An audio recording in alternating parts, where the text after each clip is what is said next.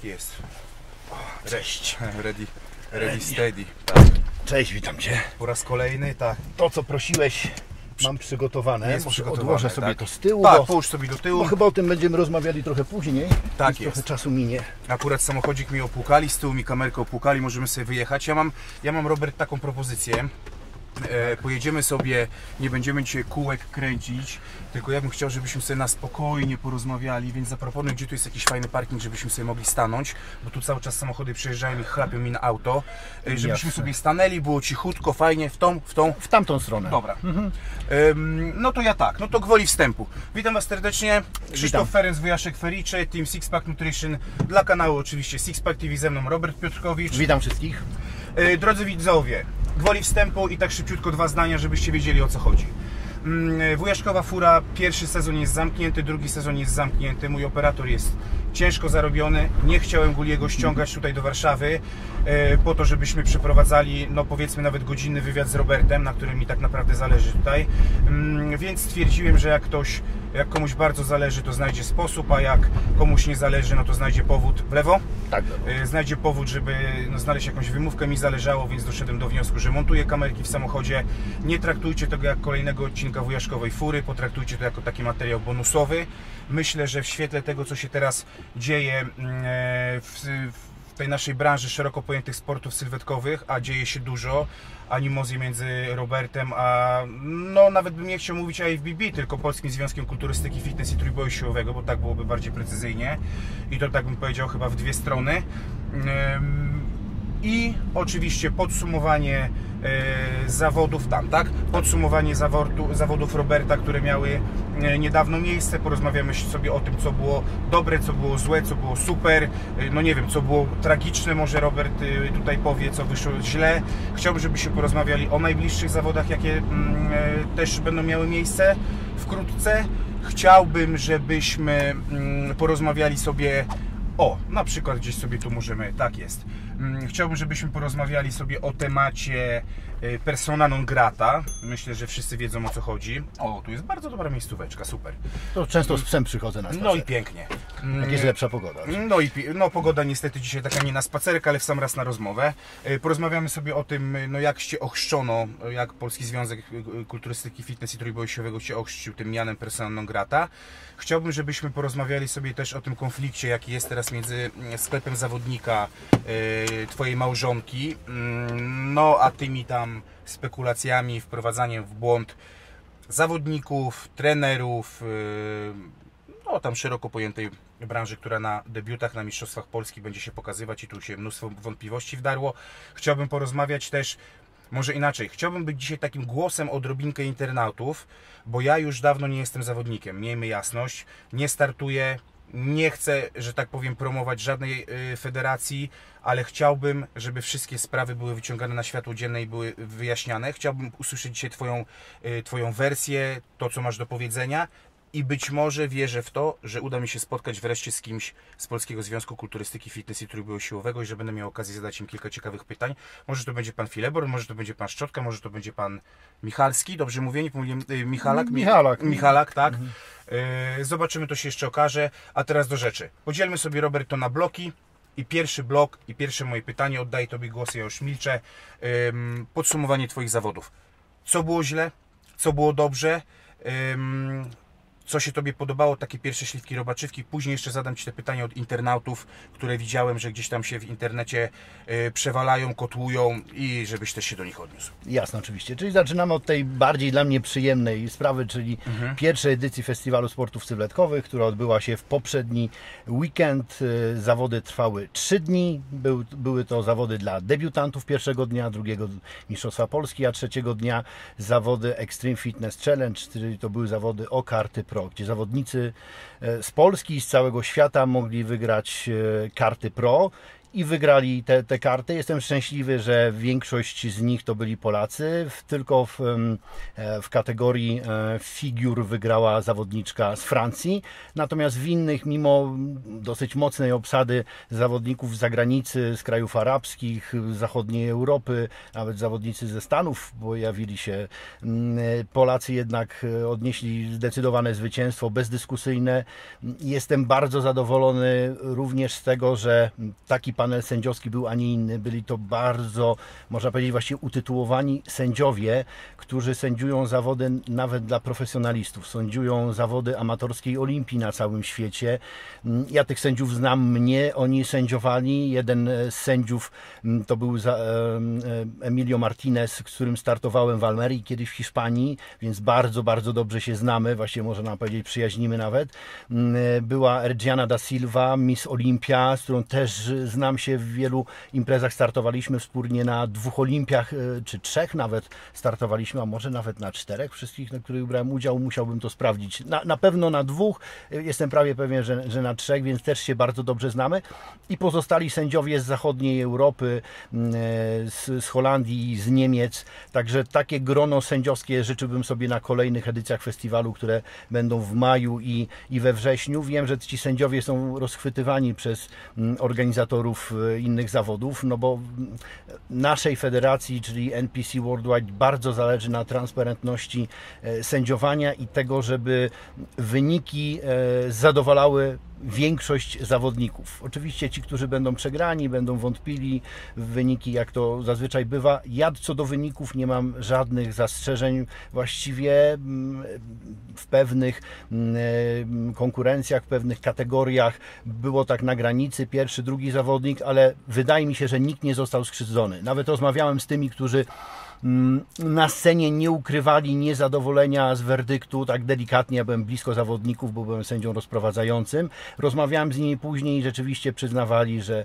że sędziowie mogli tak zadecydować i że nie są niezadowoleni. To niezadowolenie na scenie takie sportowe jest do przyjęcia, jeżeli jest w granicach jakby dobrych obyczajów i nie, nie wywołuje jakichś nie, niepotrzebnych emocji, prawda?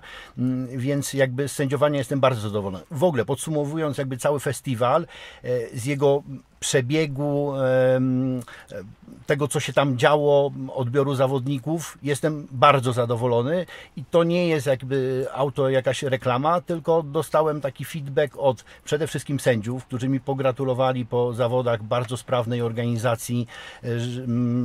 Podobały im się te, te zawody, było wszystko przygotowane tak, jak tego właściwie oczekiwali. Zawodnicy z zagranicy i z Polski też mi gratulowali udanych zawodów, pytali się, e, czy następne następne na pewno będą i kiedy będą, więc y, te informacje już na festiwalu były o tej majowej edycji, która odbędzie się 22 do 24 maja na Goactive Show w Nadarzynie pod Warszawą. Myślę, że mm, ten obiekt jest y, dużo większy niż ten, który tutaj był przygotowany przeze mnie od września i planowałem 300, maksymalnie 400 y, osób, że będzie będzie brało udział. Okazało się, że tych zawodników finalnie e, zgłoszonych było i z opłaconymi mm, e, tutaj wpisowym było 703 niestety przez e, tego koronawirusa i różnego rodzaju problemy z, może nie zaproszeniami, bo wszyscy dostali zaproszenia, ale z jakimś wjazdem do Europy, loty, tak. loty i tak dalej, informowali mnie i około 15% zawodników po prostu nie przyjechało. Ci zawodnicy będą mieli możliwość wystąpienia w drugiej edycji bez wpisowego, płacenia wpisowego. Oczywiście no, nie ma takiej praktyki, po prostu wpisowe przepada w tym momencie, jeżeli zawodnik się nie pojawił, jakby organizatora nie powinny nawet specjalnie interesować powody. No nie interesują jako zawodnika, czuję się nadal zawodnikiem, bo jeszcze może w przyszłości kiedyś wystąpię. Nie zakończyłem definitywnie kariery, chociaż na razie na tyle jestem zajęty organizacją zawodów, więc w ogóle nie myślę o, o jakby tutaj przygotowaniach mm, do zawodów. Więc ci zawodnicy, którzy z różnych powodów, czy zdrowotnych, czy, mm, czy jakichś e, losowych po prostu, niezależnych od, od nich przede mhm. wszystkim, prawda, będą mogli w tej edycji edycji majowej wystąpić. Oczywiście wszyscy dostaną taką informację, bo mamy maile do, do wszystkich tych zawodników, którzy są zarejestrowani, oni wykupili licencję, więc ponieśli duże koszty i jakby im się to należy po prostu według mnie, prawda? No nie było to od nich zależne, bo wysyłali mi zdjęcia z płaczem gdzieś tam e, na, na lotnisku, prawda? No nie mogliśmy nic na to poradzić. Tu odnośnie, e, właśnie to też będzie odniesienie za, za chwileczkę do, do mm, pewnych rzeczy, które się odbyły w trakcie już mm, festiwalu, ponieważ kilku zawodników op miało opóźnione loty za granicę tutaj z Iranu, czterech zawodników, więc pierwszego dnia oni spóźnili się po prostu na weryfikację półtorej godziny.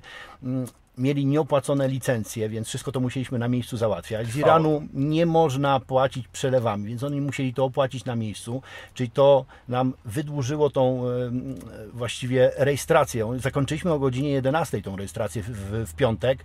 Mm, była rejestracja oczywiście w czwartek, otwarta dla wszystkich zawodników. 420 się zweryfikowało na w czwartek, natomiast pozostali zawodnicy, którzy mm, startowali w inne dni albo ci, którzy chcieli się zweryfikować tuż przed zawodami, no weryfikowali się od godziny 8 do godziny 11. Ci zawodnicy się spóźnili, dostałem informację, no mogłem powiedzieć, że no niestety zawody się rozpoczynają, nie wystąpią. No ale nie byłoby to fajne ze względu, że to zawodnicy są z zagranicy, e, prawda, Polacy się nie spóźnili na szczęście, prawda, przyjechali o, o czasie.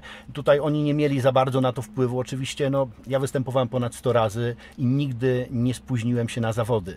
Gdzieś tam za granicą startowałem, e, nie wiem, w Nowej Zelandii, prawda, w Stanach wielokrotnie. Zawsze kilka dni wcześniej przybywałem na, na na te zawody, więc tu taki apel do zawodników, nie zwlekajcie na ostatnią chwilę, bo różne zdarzenia losowe, gumę złapiecie, samolot się spóźni, to jest teraz no, normą, prawda, więc trzeba wcześniej się zweryfikować, bo później będzie z tym problem. Niestety na tej następnej imprezie ja już nie będę mógł na, na własne życzenie sobie opóźnić um, rozpoczęcia zawodów, tak jak było to tutaj w piątek, dlatego, że no, organizatorem jestem oczywiście ja, ale, um, ale Go Active Show no, na pewno nie będzie będzie sobie życzył, żeby z takich powodów przesuwać, więc następnym razem już nie będzie takiej możliwości, jak ktoś się spóźni, to po prostu tego dnia niestety nie wystąpi.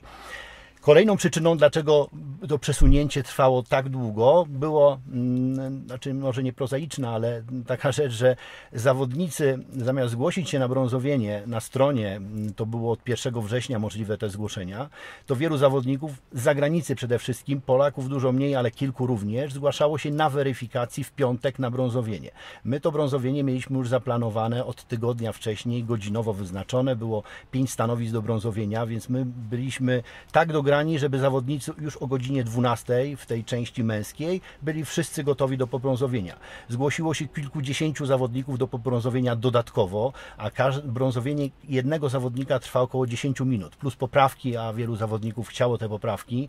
E, wielu się niestety spóźniało, nie przychodziło na wyznaczoną e, godzinę, tylko później przychodzili, robiła się przez to niestety kolejka i z tego względu podjąłem taką decyzję, że dopóki e, każdy zawodnik, który będzie w tej części męskiej występował, nie będzie pobrązowiony, nie rozpoczniemy zawodów, dlatego że nie chciałem takiej sytuacji, żeby w trakcie trwania zawodów były one w jakiś sposób opóźniane, przerywane, albo żeby zawodnik wyszedł na scenę mm, nieprzygotowany, niepobrązowiony, prawda? No, zawodnicy by mieli pretensje do nas, mimo że sami się spóźnili, mimo że dopisali się na weryfikacji, mogliśmy teoretycznie nie przyjmować zawodników na weryfikacji, na brązowienie, odmówić im tego, ale zawodnicy zagranicy bardzo często przyjeżdżali sami, sami się nie pobrązowią. Kolegów te, też ciężko wymagać, żeby kolega, konkurent, nie wiem, brązowił takiego zawodnika, więc uznałem, że to będzie słuszna decyzja. Jest to moja indywidualna decyzja, którą ustaliłem z sędzią głównym. Sędzia główny się zgodził, powiedział, że w Stanach jest to normą, jeżeli jest taki problem, to po prostu zawody się mm, wstrzymuje i dla niego to był żaden problem. Czyli ukłon w stronę zawodników generalnie. Ukłon w stronę zawodników. E, Oczywiście wielu zawodników było niezadowolonych, że musieli tak długo czekać, się rozgrzewać. Trudno, wszyscy na tym ucierpieli.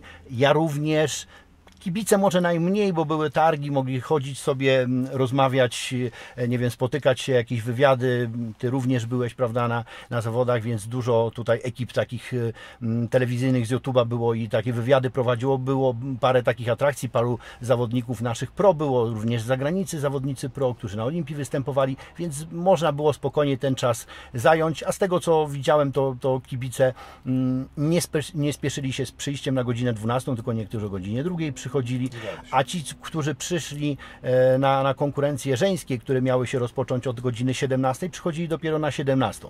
Więc też usłyszałem takie zarzuty, że no jak to dwa tygodnie wcześniej i tydzień wcześniej skończyły się bilety na pierwszy i drugi dzień e, zawodów, już ich nie sprzedaliśmy i dlaczego były takie drogie? Po pierwsze, tam były bilety po, po 200 zł, prawda, na sam koniec. Po pierwsze, bilety były sprzedawane od 1 września, były po 30 zł. Wtedy kupowało sporo osób, ale nie jakoś bardzo dużo. Mniej więcej w odstępach około miesiąca ta cena delikatnie szła w górę. Najpierw na 50 zł, później 80 zł w miarę wyczerpywania się zapasów. Mamy system e, taki stworzony mm, w sprzedaży biletów, że czym bliżej zawodów e, system oblicza cenę tak, żeby trafić tuż przed zawodami na tą najwyższą cenę i żeby jeszcze można było kupić. Więc mm, nie rozumiem tutaj zarzutów, że bilety były bardzo drogie, bo można było we wrześniu za 30 zł kupić i wiele osób kupowało po 6-7 biletów dla całych rodzin, więc były bardzo tanie. Gdybyśmy sprzedawali mm, długo po 30 zł, to myślę, że na początku grudnia już by tych biletów zabrakło i nikt by nie mógł kupić jakby tych biletów. Więc jakby trzeba tutaj zrozumieć, że, że, że to nie jest tak, że ja od początku narzuciłem taką, taką mm, cenę. Poza tym jeszcze jedna rzecz, mieliśmy no, w bardzo dobrej jakości transmisję na żywo, więc te osoby, no, których z jakichś względów nie stać na wydanie takiej kwoty mm, albo nie chcą takiej kwoty wydać, wydaje mi się, że jest za duża, była całkowicie darmowa transmisja, która była później również po zawodach dostępna, oczywiście tam YouTube przez muzykę, która jest puszczana na zawodach, jakby obcina te zasięgi, ale wszystkie te materiały mamy zgrane na dysku i sukcesywnie będziemy udostępniali przede wszystkim zawodnikom i kibicom, którzy chcą sobie mm, później obejrzeć. W maju obiekt jest kilkukrotnie większy, przygotowany na kilka tysięcy odwiedzających, więc y, mm, problemu w ogóle z dostaniem się nie powinno być. No chyba, że będzie takie oblężenie kibiców, że, że, że będzie, z czego bym się bardzo cieszył oczywiście. Mm, Więc y, i ceny też będą na pewno wtedy niższe, bo nie trzeba będzie jakby podwyższać tych cen, żeby ograniczyć sprzedaż. No tutaj ten obiekt, tak jak powiedziałem, Łączna jego taka powierzchnia użytkowa, którą my wykorzystywaliśmy, to było 1680 metrów. 1250 metrów to była ta powierzchnia areny, gdzie był backstage. Przygotowany, tak jak mówiłem, ogólnie pod, pod 250 osób na, na, na, na jeden dzień. Ta część główna, taka sceny i widownia, plus widownia górna, i część taka dla wystawców. To nie były żadne wielkie targi, tylko tacy wystawcy, którzy fundowali nagrody dla zawodników, którzy, e, którzy fundowali wyjazdy za granicę na Olimpie amatorskie w Stanach Zjednoczonych, na Arnold Classic, czy na, Arnold, czy na Olimpię w Hiszpanii. Tylko ci jakby mieli prawo wystawiać się e, i też wystawcy mm, bardzo sobie chwalili taką, taką formułę targów, że nie jest e, tych wystawców bardzo dużo. Oni byli bardzo zadowoleni, byli tylko konkretne osoby zainteresowane tym sportem. No skoro ktoś potrafił zapłacić 200 zł za przyjście, to to jest konkretny klient, który nie będzie przychodził po garść próbek darmowych i szedł po prostu dalej, prawda? Więc z tego byli bardzo zadowoleni. Natomiast następna edycja w maju, no już tych wystawców będzie dużo, dużo więcej. Jeżeli wystawcy jakiś, jacyś mnie e, tutaj słyszą i chcieliby się dołączyć do, e, do finansowania tej imprezy albo fundowania różnego rodzaju nagród, począwszy od voucherów, e, przez jakieś suplementy, które zawodnikom będą fundowane, e, przez wyjazdy za granicę, to zapraszam, mogą się zgłosić do mnie. Tu też taka informacja, którą ogłaszałem we wrześniu dwukrotnie co najmniej w filmach. Mm, U nas w lidze NPC Worldwide, tej amatorskiej lidze NPC, nie ma nagród finansowych. Nie możemy dawać nagród finansowych. Nawet gdyby się zgłosił jakiś sponsor, który da 100 tysięcy złotych, to nie możemy tego wręczyć zawodnikom. Takie są przepisy tej ligi, że tylko zawodnicy, zawodowcy ligi e, IFBB Professional League mogą dostawać nagrody finansowe. I tego się musimy ściśle trzymać e, i nie, nie mogę tutaj nikomu, że tak powiem, po cichu czeku takiego dać. Natomiast znaleźliśmy bardzo dobre wyjście. Po prostu mm, zawodnikom fundujemy wyjazdy na, na, na zawody, e, bardzo prestiżowe. Zawodnicy oczywiście nie muszą koniecznie wystąpić w tej imprezie, którą my im narzucamy. Mogą sobie przenieść jakby te koszty, czyli przelot, hotel i wpisowe. Łącznie to taki jeden wyjazd nie wiem, do Stanów na Olimpię, na przykład to jest około 6 tysięcy złotych, mogą sobie przenieść na inne zawody, czy w Europie, czy w Stanach, czy w Australii, gdzie koszty będą zbliżone. Tutaj oczywiście mm, fundatorami e, tych nagród były firmy mm, przede wszystkim Panatta, Extreme Gym e, e, Fitness Łukasza Dojki. No to taki główny nasz partner strategiczny. Partnerem platynowym była firma Panatta, włoska firma produkująca sprzęt fitness. Ta firma podpisała z nami umowę już na 3 lata. E, dokładnie tak, mam kurtkę oryginalną, byłem u Rudiego Panatty we Włoszech. E, razem z Łukaszem Dojką tam ten kontrakt podpisywaliśmy na 3 lata, także możecie być pewni, że, że te imprezy NPC będą sponsorowane i przez Łukasza, i przez firmę Panatta przez najbliższe co najmniej 3 lata. Oczywiście ten kontrakt na pewno będzie przedłużony, jeżeli wszystko będzie mm, pomyślnie przebiegało.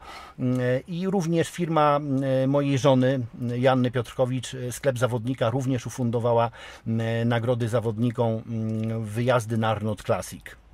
Tutaj dwa dla najlepszej zawodniczki, najlepszego zawodnika. E, I dodatkowo też ufundowały te firmy wspierające ufundowały kilkadziesiąt e, startów w zawodach Pro Qualifier dla zawodników te, mm, te zaproszenia na, na zawody były mm, dawane zawodnikom podczas weryfikacji. Właściwie losowo wybieraliśmy z listy osoby, które otrzymają te, te zaproszenia.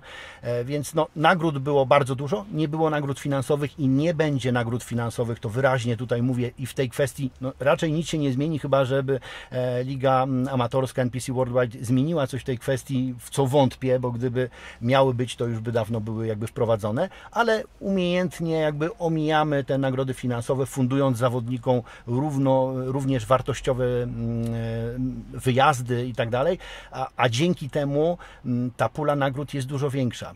Wiemy, ja wiem to z doświadczenia, że firmy wspierające niechętnie dają pieniądze, mhm. prawda? Chętniej dadzą produkty, chętniej zasponsorują właśnie taki wyjazd, dzięki któremu będą i na zawodach reklamowani, i po zawodach, i ci zawodnicy będą ich reklamowani, bo z punktu marketingowego jest to dużo atrakcyjniejsze dla takiego sponsora, prawda? Wręczanie nagród.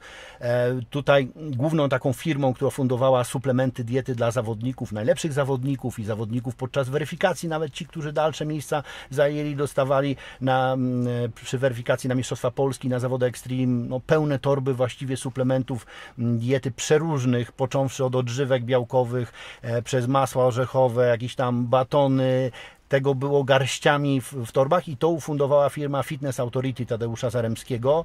Mm, e, łączna wartość, e, tutaj takie dwie palety dostałem, to było 90 tysięcy złotych, które ta, ta firma ufundowała. Myślę, że nawet więcej, bo dołożyła super, super wyglądające, pierwsze w Polsce takie torby sportowe. Wartość takiej torby to jest kilkaset złotych według mnie. Sami sędziowie bardzo mnie prosili o to, żeby takie torby dostać, więc pięć takich toreb oddaliśmy sędziom, mm, bo, bo chcieli po prostu takie, takie torby dostać. Na, na zawodach teraz w Polsce mm, pan Tadeusz będzie, e, będzie oczywiście też fundował nagrody już w tych, w tych torbach, więc to znakomita reklama jest i dla jego firmy, bo no, jeszcze takiego produktu na, na rynku nie było. Ci, którzy otrzymają te torby, wiedzą jak, jak wyglądają i na pewno potwierdzą to.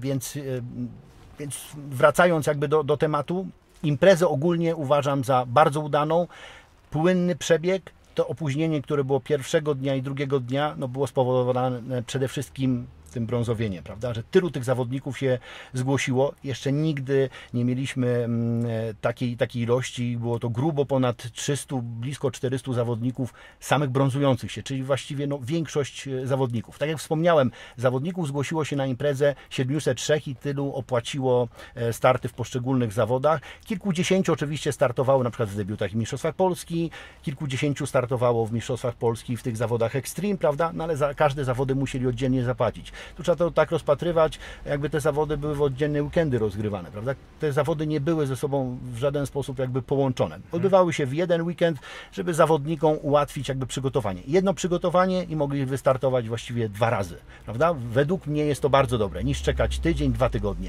Jasne. I co ciekawe, wielu się wydawało, że przez dzień się nic nie zmieni. A jednak. A jednak się tak zmieniało, że zawodnik, który na przykład w Mistrzostwach Polski zajął trzecie miejsce w kategorii Classic pro. następnego dnia wygrywał swoją kategorię y, z zawodnikami, którzy poprzedniego dnia byli od niego lepsi, bo oni tą formę mieli albo gorszą, albo taką samą, a on się tak poprawił, że nawet wygrał kategorię Open i kartę Pro. Mhm. Prawda? Mówimy tutaj o nadnaturalnie pewnie, nie? Tak, o, dokładnie. O fantastyczna... Fantastyczna sylwetka. Ja go zobaczyłem na scenie, porównując te dwa dni, byłem zaskoczony, mówię, no dzisiaj to ty się przygotowałeś e, tak, że rzeczywiście będziesz o tą kartę pro walczył.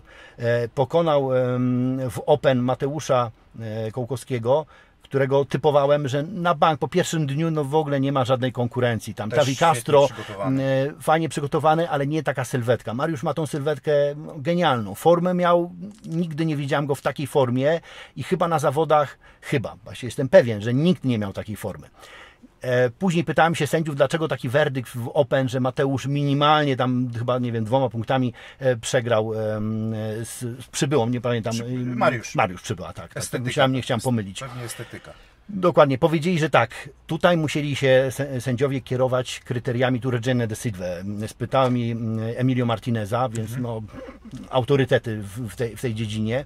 W, w przerwie e, takiej obiadowej o godzinie 16. Na 16 sobie zaplanowaliśmy, punkt 16 zaczęliśmy obiad, na, 17, na 19 miał być bankiet, 19.15 zaczął się bankiet, więc widać, że jeżeli em, trudności podczas weryfikacji czy podczas brązowienia nie utrudniają nam organizacji zawodów, to wszystko jest tip-top punktualnie, prawda? I tutaj rozmawiałem właśnie z sędziami, powiedzieli, gdyby to była kulturystyka i według zasad kulturystyki, to Mateusz bezapelacyjnie by wygrał. Natomiast tutaj Classic Physique innymi kryteriami się kierują. Proporcją, estetyką sylwetki, nawiązaniem do tej klasycznej sylwetki z lat 70., 80. I tutaj troszkę lepszy im się wydawał e, właśnie przybyło. Też dobre pozowanie, nie? Świetnie. Dobre pozowanie, wakum, wąska talia. E, Mateusz Kołkowski też ma wąską talię, też super wakum robił. Według mnie miał niesamowite atuty, pocięte nogi, bicepsy takie szpiczaste. E, Cała sylwetka była taka kompletna, skóra super przygotowana. E, Na, nasi, nasze osoby z ekipy mojej żony mm, tam bardzo się do tego mocno przyłożyły. Mateusz wszystkim dziękował osobno, pisał jeszcze do nich później podziękowania, za co też podziękowanie dla, dla Mateusza, bo to dla naszej ekipy jest bardzo ważne. Mm, Każda z tych osób spędziła, mm, jak, jak liczyliśmy, e, pobrązowiła co najmniej 60 zawodników, prawda? Czy, no to co najmniej, prawda, licząc. Więc jakby należą im się podziękowania, bo wielu zawodników przychodziło po imprezie i dziękowało za, za przygotowanie skóry, za znakomite pokrycie brązera i tak dalej. No ale o tym wszyscy zawodnicy wiedzą, bo my od 11 lat brązowimy, więc każda osoba z naszego teamu kilka, nawet może i set albo tysięcy osób już pobrązowiła. Moja żona to na pewno kilka tysięcy. W tym roku nie brązowiła, bo była w biurze zawodów i czuwała nad, nad tym płynnym przebiegiem, żeby te wyniki docierały do, do sędziów jakby mm, płynnie.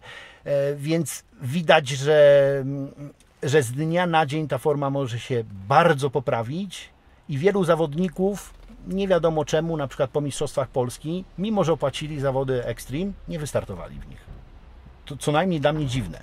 Wpisowe kosztowało 850 zł. Uznali, że skoro przegrali pierwszego dnia, to znaczy, że drugiego nie mają szans. To znaczy, że jeżeli ktoś się do sezonu szykuje i za tydzień, za dwa są zawody, to też nie ma szans, bo już przegrał z tym zawodnikiem. No, według mnie podstawowy błąd jest, prawda? Ten jeden dzień naprawdę może ogromnie zmienić sylwetkę i co najmniej kilku zawodników na scenie sam zauważyłem, że drugiego dnia zmieniła się sylwetka i w Mistrzostwach Polski zajmowali dalsze miejsca, piąte, gdzieś tam szóste poza finałem, a tu nagle wskakiwali na podium w tych zawodach Extreme, bo nagle waskularyzacja się pojawiła, skóra jak pergamin, widocznie jakiś błąd popełnili w ładowaniu, w odwodnieniu do pierwszego dnia, albo nie szykowali się na te zawody, bo nie były dla nich najważniejsze, a dopiero na te zawody Extreme. I niektórzy mi tak mówili, że oni się szykują po to Extreme, a wychodzą w tych Mistrzostwach Polski tak na przetarcie. Niektórym się wydawało, że Mistrzostwa Polski będą najważniejsze. No, są ważne oczywiście, bo to jednak Mistrzostwa Polski Federacji odbywają się raz do roku. Natomiast te zawody Extreme, ten prestiż i zawodnicy, którzy tam startowali, niektórzy zagranicy tylko przyjechali na te zawody. Oczywiście wielu wiedziało, że może w dwa dni wystartować, więc warto wystartować. Ja też jak startowałem pierwszego dnia i drugiego dnia, zawsze drugiego dnia miałem dużo lepszą formę.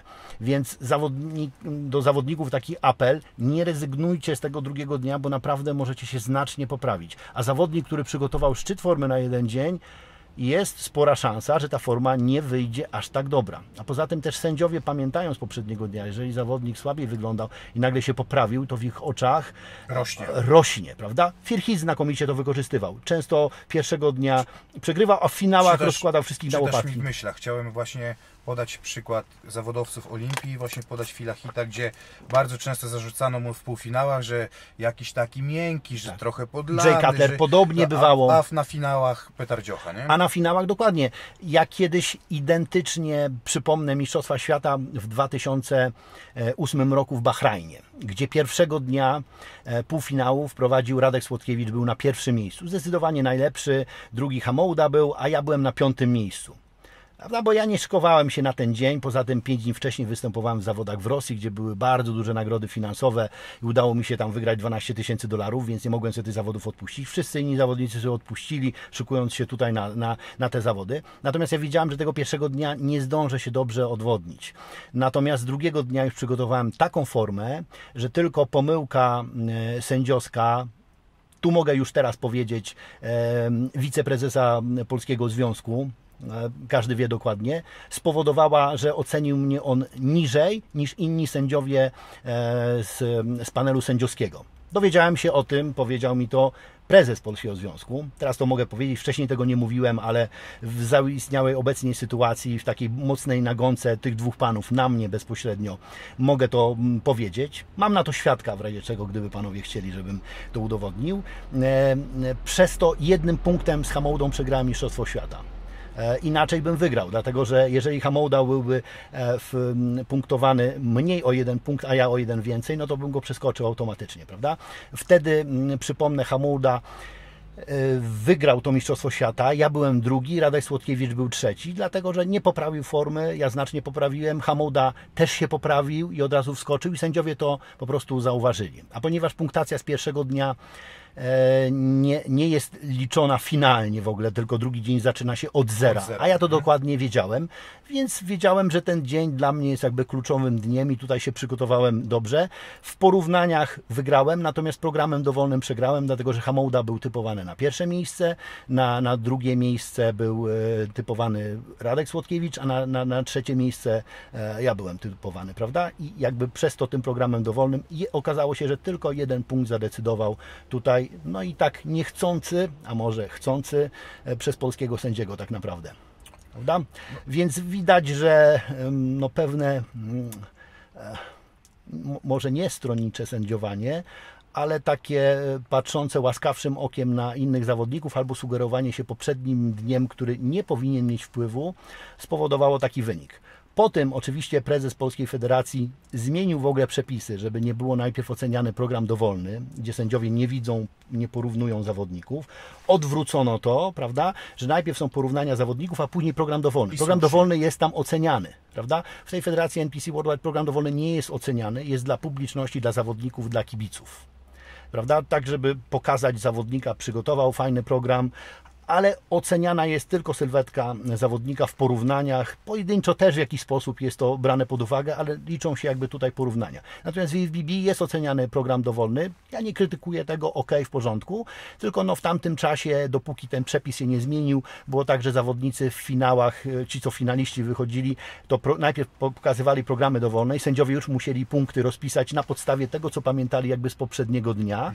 Natomiast później porównując, no ja wszedłem wyżej, ale niestety ten program dowolny spowodował, że tych punktów, tego jednego punktu mi zabrakło do Mistrzostwa Świata. Zająłem drugie miejsce, z czego byłem bardzo zadowolony, bo patrząc na pierwszy dzień, no to nie miałem większych szans w ogóle nawet na, na medal. Mimo, że w poprzednim roku mm, wygrałem em, Open w ogóle w Mistrzostwach Świata jako pierwszy Polak i dotychczas jedyny Polak w kulturystyce, e, który wygrał Open w seniorach. Nie mówię o weteranach czy juniorach, bo to troszeczkę niższa ranga i zdecydowanie niższa niż, niż seniorskich mistrzostw świata, Mm, więc y, tu na siłę nie zbijałem wagi, tylko chciałem w super ciężkiej wystąpić, bo ja lubię wyzwania po prostu i startować z najmocniejszymi możliwymi zawodnikami. Startowanie w kategorii do 100 kg, gdzie już byłem mistrzem świata, dla mnie nie byłoby żadnym wyzwaniem. Natomiast tutaj chciałem w tej super ciężkiej wystąpić, no i zająć jak najwyższe miejsce oczywiście, skoro byłem już poprzednio mistrzem świata dwukrotnie, no to trzykrotnie, przepraszam, to chciałem zostać i czwarty raz, no i o mały włos, y, gdyby nie było w panelu sędziowskim polskich sędziów,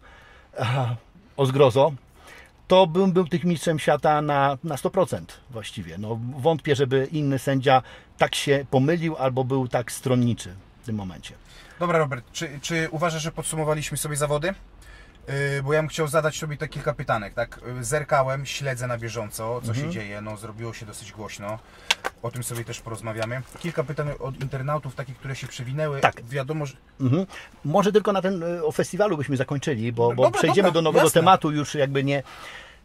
Już o festiwalu jakby opowiedziałem, natomiast chciałbym trochę opowiedzieć i zachęcić tutaj i kibiców i widzów Majo, na majowy Mhm. i wrześniowy festiwal, bo, bo tych edycji w każdym roku będę planował minimum trzy, prawda? W przyszłym roku też najprawdopodobniej marzec, też zrobimy debiuty i inne zawody. Natomiast trochę opowiem o tym festiwalu, który będzie odbywał się w maju, czyli już jakieś 12 tygodni, jak dobrze liczę. Prawda? Niecałe tam 3 miesiące prawie zostały. 20 Sam raz. Sam raz, żeby ktoś, jak ktoś robił okres masowy, siła, masa, wszystko. Tak, spec- specjalnie ten termin jest tak dobrany, bo ten termin majowy 22, 3, 4 jest bardzo dobry dla wszystkich zawodników wszystkich federacji. Przypominam, że u nas w Federacji NPC mogą startować wszyscy zawodnicy z każdej federacji, również z JFBB, w Polskiego Związku. Nie bronimy e, zawodnikom i mogą później po starcie u nas startować również dalej w innych federacjach.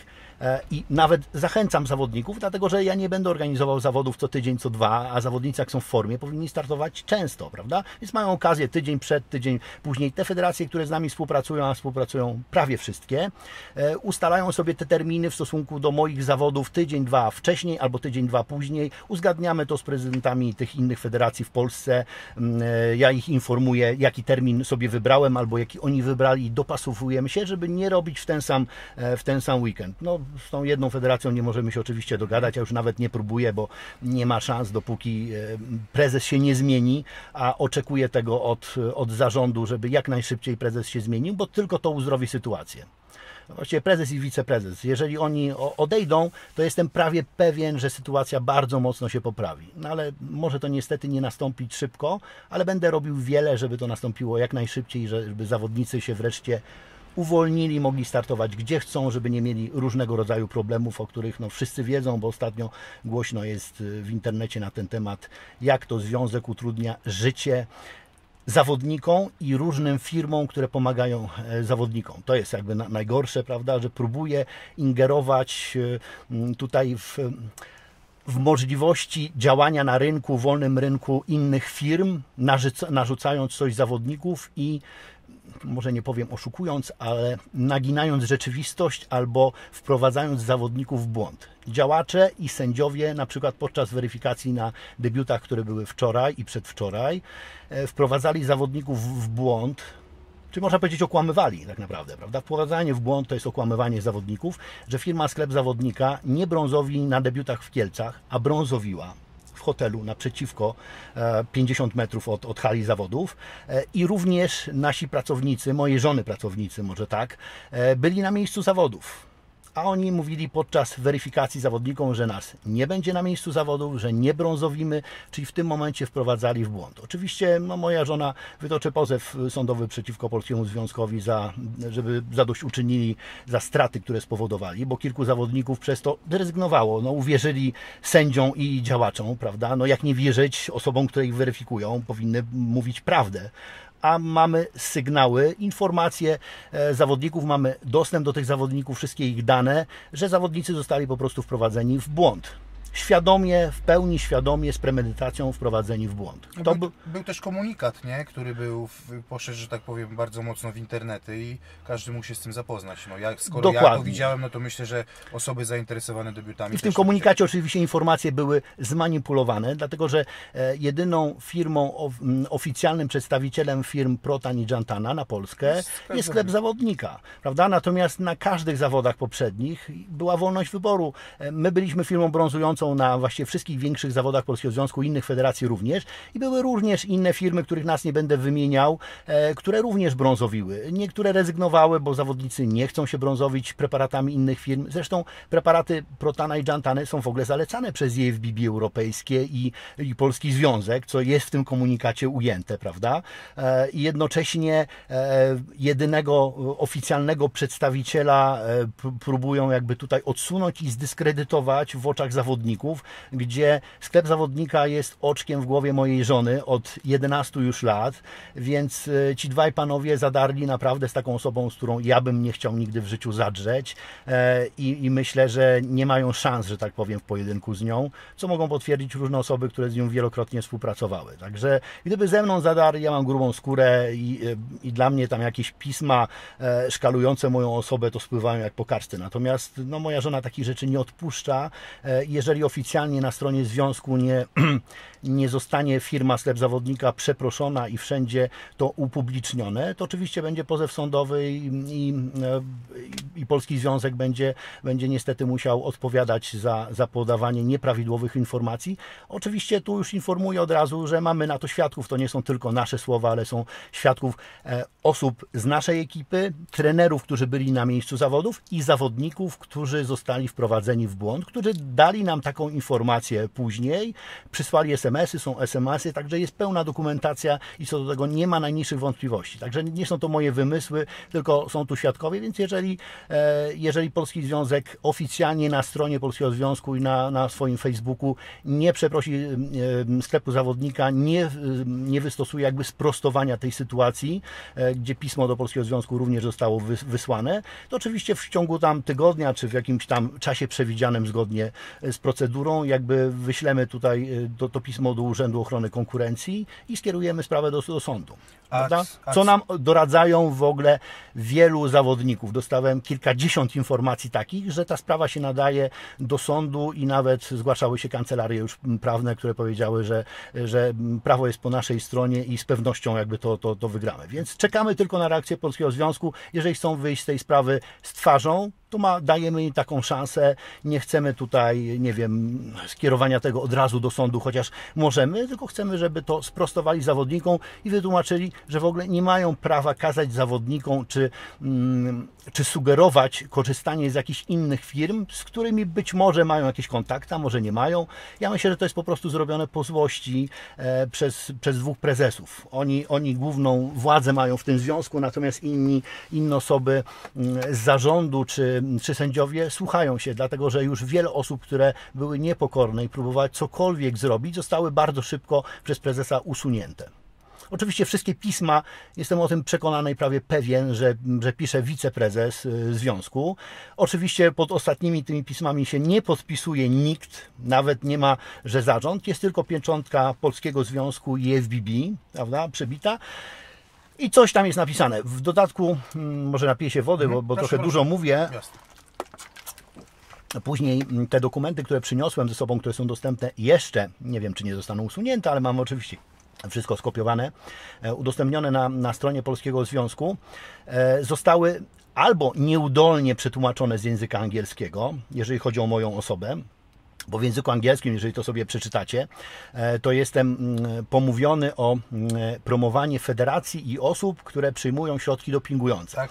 Natomiast mm, osoba, która przetłumaczyła to pismo na język polski, a wiem z doświadczenia, że jest tylko jedna taka osoba, czyli wiceprezes, e, przetłumaczyła to w ten sposób, że ja jestem em, posądzony o promowanie środków, nie organizacji i nie osób, które gdzieś tam na jakiejś podobno liście są, której ja nigdzie nie znalazłem, tylko że ja jestem e, posądzany i w związku z tym e, jestem, dostałem takie prestiżowe wyróżnienie jako pierwszy Polak e, w historii polskiej kulturystyki persona non grata, tak? To, To jest, to jest chyba dobry Nie, nie, to- to jest może chyba do- pokażemy. To jest chyba dobry moment. Tak, to jest dobry moment. Bardzo proszę. E, to Którą takie zaproszenie dla Ciebie na maj oczywiście, Ja dziękuję bardzo. bo zawsze ekipa Sixpacka jest, jest Bardzo- mile widziana. Bardzo dziękuję. E, Tu jest takie pismo w języku angielskim. To w polskim znajdziecie na, na polskiej stronie e, mm, Polskiego Związku Kulturystyki i Fitness. Jest wyraźnie tutaj napisane, e, że mm, zostałem jakby po- posądzony za promowanie osób i organizacji, które, które promują środki dopingujące. Oczywiście Federacja NPC Worldwide nie jest na żadnej liście jakby ta, takich organizacji, które w jakikolwiek sposób są posądzone. Zresztą jeżeli ktoś spojrzy na listę WADY i POLADY, jacy zawodnicy tam są, to są wyłącznie zawodnicy Polskiego Związku Kulturystyki i Fitness. Prawda? Nie będę tutaj tego tematu dalej, dalej wydłużał, także są to po pierwsze bezpodstawne, a po drugie ktoś z premedytacją, e, myślę, albo nie podejrzewam tego pana, który dosyć dobrze zna angielski, żeby tak koślawo przetłumaczył na, na język polski. Jest to po prostu celowe działanie, żeby moją osobę zdyskredytować w oczach e, partnerów festiwalu, zawodników, prawda, bezpodstawne posądzenia. Ja wielokrotnie byłem badany na Mistrzostwach Świata dwukrotnie, kiedy zawodnicy inni, e, już nie będę wymieniał nazwisk, e, mieli wpadki. Ja nigdy nie miałem takiej wpadki. Zawsze wynik był negatywny, czyli byłem czysty, prawda? Więc tutaj prezes, który też ma sporo za uszami, bo kilkanaście lat temu już posądziło go kilku zawodników o, o no, nie, nie, będę mówił o co, bo każdy Prezes wie. Prezes Polskiego Związku Kulturystyki, Fitness i Trójboju Siłowego zalecał stosowanie koksu w cudzysłowie jeżeli mamy y, w cudzysłowie, okay. jeżeli ja to mogę, ja to mogę powiedzieć, to jest, ja to cytuję, to nie jest... Y, tak, bo w hmm. doniesieniach prasowych nawet ktoś ostatnio y, w poście z wczorajszym z Polskiego Związku wstawił taki post 2005 roku, gdzie właśnie ta sytuacja zaistniała i tam jest to dokładnie opisane, zeznania zawodników i tak dalej. E, ktoś taki, kto tyle lat musi się z tym borykać, miał, e, miał już wyrok sądowy, oczywiście odwołuje się wie, wiele lat i nadal ta sprawa trwa, więc prezes, który ma wpływ na to, co jest publikowane na stronie, stronie publikuje takie oszczerstwa, które nie mają w ogóle żadnego odniesienia. Dokładnie wie, był na tych mistrzostwach świata, ze mną później samolotem leciał, wielokrotnie rozmawialiśmy, dopuszcza do takiej sytuacji, żeby takie pismo ujrzało w ogóle e, światło dzienne. Gdyby to pismo nie ujrzało światła dziennego, ja bym w ogóle tej rozmowy by tutaj nie było, bo ja dostałem to pismo po angielsku, uśmiechnąłem się tylko i po prostu odłożyłem, prawda, bo dostałem z siedziby AFBB. E, to uznałem, że no, za, za zasługi po prostu i za organizację tej ostatniej imprezy bardzo udanej, no nie spodobało mi się to bardzo, ale ja mm, członkiem IFBB nie jestem od roku 2009, mhm. bo wtedy e, oficjalnie przeszedłem do ligi IFBB Pro League, więc jakby w ogóle to pismo nie ma żadnych podstaw nawet, nawet takich, bo, bo to nie jest tak, że się dożywotnio członkiem IFBB.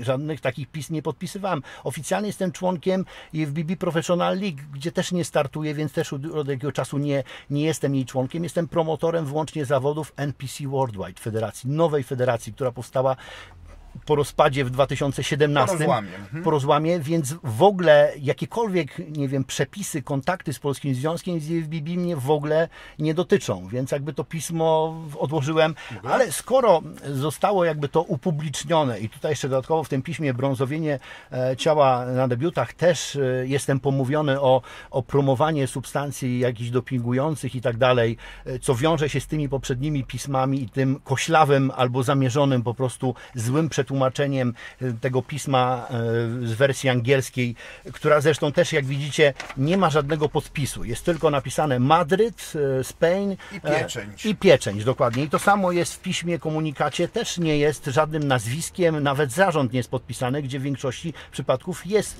jest podpisywane. Jest tylko logo E, Polskiego Związku i FBB, prawda? No ale to jest równoznaczne właściwie z podpisaniem, skoro jest to na oficjalnej stronie, więc rozumiem, że pod tym się podpisuje czy prezes, czy wiceprezes, czy, e, czy ktoś z zarządu, prawda? No ktoś musiał to pismo napisać, nie, nie ma tak, że anonimowo pisze to sekretarka, prawda, o sobie upublicznia i prezes o tym nic nie wie. Na pewno prezes o tym bardzo dobrze wiedział, więc wiedział w co się, że tak powiem, pakuje. E, no i oczywiście ja też rozważam pozew sądowy za zniesławienie, i, i będą pozwane i Polski Związek, i dwaj e, prezesi, chyba że zdążą mnie oficjalnie przeprosić za to i odwołają ten tytuł e, przyznany mi początkowo z uśmiechem na twarzy. Mówię, że to najbardziej prestiżowy tytuł persona non grata, prawda? E, jeżeli odwołają swoją decyzję, to, to nie skieruję tego do, do sądu, bo nie jest jakby moim zamiarem tutaj jątrzenie jakby tej sytuacji. No ale sami ją prowokują, więc ja nie mogę e, jak ten lisek z podkulonym ogonem przejść do porządku dziennego. E, wielu zawodników tak robi, obawia się jakby konsekwencji startujących w Polskim Związku. Wiem o tym bardzo dobrze, sami mi mówią. Dzisiaj dostałem kilka takich wiadomości, że przepraszam bardzo, że nie może upublicznić tego mojego posta, natomiast wyślę go jego znajomym, dlatego że zamierza startować w Polskim Związku, bo przygotowuje się do tych zawodów, jest w stowarzyszeniach, e, jest związany po prostu, przygotowuje zawodników i boją się po prostu zawodnicy tego, że będą konsekwencji zbanowani.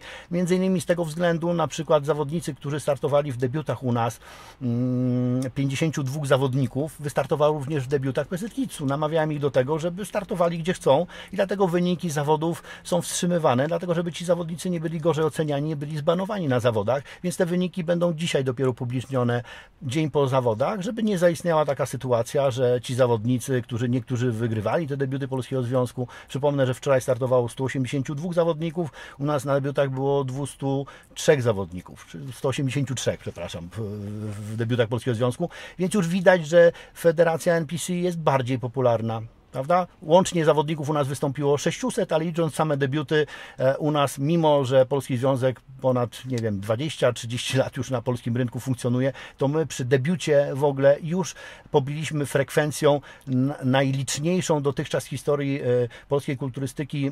Imprezą były debiuty w 2016 i później chyba w 2017 roku we Wrocławiu i w Gdańsku, gdzie startowało tam w tych czasach 437-431 zawodników, prawda? My tą pierwszą imprezą już pobiliśmy tą, tą imprezę, bo wystąpiło 600 zawodników, więc widać, że, e, że rakieta wystrzeliła i kolejne edycje myślę, że nie będą na pewno mniej liczne, a ponieważ są dużo atrakcyjniejsze terminy, ten maj i wrzesień, trzecia edycja, więc tych zawodników będzie startowała masa. E, i bardzo mi zależy również na zawodnikach Polskiego Związku, tak nazywamy ich, po, po, jakby to była własność Polskiego Związku, prawda, a tak nie jest. Zawodnicy powinni mieć wybór startów w dowolnej federacji, w jakiej chcą i mo mogą z powrotem wracać do do tej federacji, gdzie chcą startować. Tak jest właściwie na, na całym świecie. Oczywiście mm, e, pewna zmowa Federacji FBB odnośnie zabraniania zawodnikom funkcjonuje również w niektórych innych krajach i tam również banują zawodników. Między innymi w Szwecji, między innymi w Austrii zostali zawodnicy również e, odznaczeni takim wyróżnieniem persona non grata. I tutaj poinformuję Was, że najbardziej znany polski kulturysta, obecnie najbardziej utytułowany, również w ciągu kilku dni otrzyma e, takie, e, otrzyma już takie pismo i będzie również e, miał taki status czy tytuł persona non grata. Każdy się domyśla, kto był trzeciego dnia na zawodach, kto był na scenie i nas ja odwiedził. I wręczał, wręczał nagrody. I wręczał oczywiście nagrody. I, I dostanie to pismo. Naprawdę. Znaczy on dostał już to pismo, wiem od niego, bo mnie o tym poinformował. Czy możemy powiedzieć głośno o tym teraz? Nie, czy... nie będziemy mówili głośno, dlatego że, że ten zawodnik To sam o tym masakra, publicznie nie? poinformuje. Oczywiście również inni zawodnicy a z, z Federacji tej mm, kulturystycznej Elite Pro um, również tam było kilkunastu zawodników, którzy przygotowali na nasze, przygotowywali na nasze zawody mm, trenerów. Oczywiście udzielali wywiadów, nie będę nazwisk wspominał, bo każdy jak sobie te wywiady Sixpacka obejrzy, czy Seven Nutrition, to wie jacy to byli zawodnicy, więc najprawdopodobniej oni również będą informowali, będą musieli się z tego wytłumaczyć i nasi zawodnicy Elite Pro, którzy również tam byli bardzo tytułowani, też nie będę nazwisk wspominał, również otrzymali takie pisma, e, że mają się z tego wytłumaczyć. Jeżeli się wytłumaczą źle albo nie ukorzą, nie ukłonią, bo tam w piśmie jest wyraźnie powiedziane, że powinni przeprosić za zaistniałą sytuację. Jeżeli nie przeproszą w ciągu 10 dni, taki termin wyznaczono, to będą uznani za osoby niepożądane w tej federacji. Prawda? Czyli w ten sposób e, Polski Związek i Federacja ABB czyści, mm, że tak powiem, z najbardziej utytułowanych zawodników e, e, tą, tą federację. Nie wiem, kto tam zostanie. Wydaje mi się, że tak jak mi podpowiadają tutaj trenerzy i zawodnicy, że zostaną tylko, e, tylko sędziowie i działacze i ich zawodnicy przez nich przygotowywani e, i tak zwany pies z kulawą nogą nie będzie chciał tam startować, nie obrażając tych miłych stworzeń, ale, ale wydaje mi się, że to wszystko do tego mm, prowadzi. Tym bardziej, że zawodnicy, czemu się bardzo dziwię, po, mm, po moich dwóch postach na Facebooku i na Instagramie, pierwszy odnośnie tej odznaki, którą otrzymałem, tego tytułu, niektórzy mówią to znakomity tytuł, jakiś szlachecki chyba i tak dalej, tak sobie oczywiście niektórzy z tego drwią, zresztą ja też taki postawiłem trochę prześmiewczy z tego tytułu e, w, w niedzielę, z tego co pamiętam. Mm, informują mnie, że, że najprawdopodobniej ci inni zawodnicy również będą otrzymywali, bo dostawali już telefony informujące ich, y, dlaczego w ogóle mm, przyszli na ten festiwal, czy promowali nas w jakiś sposób. Oczywiście ja nie chciałem żadnych osób angażować tutaj z, ym, z tej federacji Elite Pro, wręczanie nagród i tak dalej. Także to była indywidualna decyzja jakby tych, tych osób. Te osoby też nie były zapraszane e, przeze mnie jakby specjalnie, bo wiedziałem, że to nie na miejscu by było zapraszanie z tej federacji. Po prostu kupiły same bilety albo, albo ich zawodnicy kupili im wejściówki na, na, na backstage, więc jakby poza moją osobą w ogóle te osoby zdecydowały się na odwiedzenie festiwalu, a naprawdę właśnie cała śmietanka polskiej kulturystyki, nawet z Polskiego Związku była u nas na tym festiwalu, no bo skoro to jest największa impreza w historii polskiej kulturystyki, jeżeli chodzi o liczebność zawodników, no to dlaczego mieliby nie, nie, nie przyjechać? Tym bardziej, że wielu zawodników się szykowało typowo do naszej imprezy, prawda? Pierwszej edycji, no i do następnych na pewno też się będą szykowali. A tu takie... Porozmawialiśmy mhm. sobie o tej odznace, tak? Perso... Wyróżnieniu, może w ten sposób, persona non grata. I teraz Tak, taki, tu, jest, taki... tu jest to wyróżnienie, myślę, że w ramki sobie to oprawię, tutaj jak widzicie, persona non grata, taki tytuł otrzymałem, więc wydrukuję to sobie bardzo ładnie i, e, i na pewno a tutaj proszę bardzo, rok 2010, chyba kwiecień, jeżeli się dziewiąty, nie mylę. Dziewiąty. Yy, tak. Platynowa odznaka Warszawa polskiego... 10.04. No, no tak. Za, za, za, za, tak, tak, masz rację. Do 2010. Oficjalnie dostałem to mm, podczas takiego spotkania, tam było 20, 30-lecie, 20-lecie dokładnie, 20-lecie Polskiego Związku. Wielu zawodników naszych było wyróżnionych e, i e, ja byłem jednym chyba z dwóch czy trzech osób wyróżnionych tą platynową odznaką. Otrzymałem ją z rang e, prezesa, chyba jeszcze też wiceprezesa. E, no, akurat wtedy była ta tragedia smoleńska, więc nie, nie było to żadne huczne wydarzenie. Miało być nawet odwołane początkowo, ale później się jednak odbyło. I wtedy otrzymałem jakby to, to takie wyróżnienie, gdzie dla mnie było bardzo cenne. Oczywiście nadal je gdzieś na kominku jakby trzymam, prawda? No bo to były trochę inne czasy. Wtedy wszystkie te federacje się ze sobą przyjaźniły, ale niestety w tym roku 2017 przez pewne mm, nieporozumienia, jeżeli chodzi o sędziowanie na zawodach Arnold Classic w Stanach Zjednoczonych, federacje się rozstały. Dla zawodników tak naprawdę, no może nie dla zawodników Polskiego Związku, ale dla zawodników z całego no świata jest to bardzo korzystne. Z perspektywy czasu było to najlepsza rzecz, jaka się mogła przydarzyć tak naprawdę zawodnikom. Uwolniła wszystkich zawodników z Federacji FBB, która zabraniała, utrudniała przejście na zawodowstwo i teraz zawodnicy mogą przechodzić na to zawodowstwo. Oczywiście ktoś powie, że tak dużo przychodzi, że ten poziom się zaniżył, ale mm, mm, karty zdobywają zawodnicy, startując w zawodach, gdzie startuje 300, 400, 600, 800 zawodników i tych kart jest kilka do wygrania. Często w jednej dywizji, na przykład w kulturystyce, jest tylko jedna karta do wygrania, gdzie startuje, nie wiem, 40 zawodników, naprawdę najlepszych, którzy w ogóle startują w tych zawodach, już się czują na siłach, chcą o tą kartę pro walczyć. Także nie ma tam przypadkowych osób zupełnie. Te osoby wygrywają karty pro. Jeżeli nie są wystarczająco dobrzy, to oni nigdy się nie załapią na Olimpię czy na Arnold Classic. Ale w zawodach tych pro na całym świecie, których jest kilkadziesiąt, będą mogli brać udział, stanąć obok najlepszych, nie wiem, Dextera Dexona czy, czy innych tych zawodników z i to już jest jakby bardzo duży dla nich mm, prestiż i moim celem jest, żeby jak największa ilość zawodników polskich mm, te karty pro otrzymywała. Chciałbym, żeby e, trzy razy w roku się takie imprezy odbywały, gdzie 7 kart pro będzie do wygrania, czyli co roku będziemy mieli 21 zawodników. Mam nadzieję, że, że około 20 będzie Polaków. I wtedy, jak będziemy tych zawodników z Polski mieli po kilku z dywizji, to oczywiście zacznę organizować w Polsce zawody pro, tak jak kiedyś były zawody Levron Classic. Prawda? Tak. Chciałbym takie zawody zorganizować. Jeszcze troszkę jest na to za wcześnie, z tego względu, że tych zawodników z Polski nie jest aż tak dużo, a chciałbym, żeby chociaż połowa zawodników startujących w takiej dywizji, w której zorganizuję te zawody pro, była z Polski, żeby Polacy mieli szansę mm, e, zakwalifikowania się na Olimpię, wygrania mm, takiego tytułu, prawda? Więc jeszcze, jeszcze musimy troszkę poczekać. Mm, w tym roku, no nie jestem pewien, jeżeli warunki będą sprzyjające i w maju ta impreza wypali jeszcze lepiej niż ta, chociaż nie wiem czy, no, mam nadzieję, że jeszcze lepiej wypali. E, to we wrześniu jest taka szansa, żeby te zawody pro już zrobić, ale tego nie obiecuję. Raczej skłaniałbym się z tym na, na przyszły rok. Chciałbym najpierw, nazwijmy to, wygenerować jak największą ilość zawodowców jakby z Polski. Oczywiście zawodowcy z Polski, mm, dobrze by było, żeby z tymi kartami, które wygrali teraz w lutym i w maju, wstrzymali się chwilkę, dlatego że 9 mm, do 11 października w Atlancie w USA są organizowane pierwsze Mistrzostwa Świata NPC Worldwide e, na takim multifestiwalu festiwalu sportowym Dwayna Johnstona Atleticon.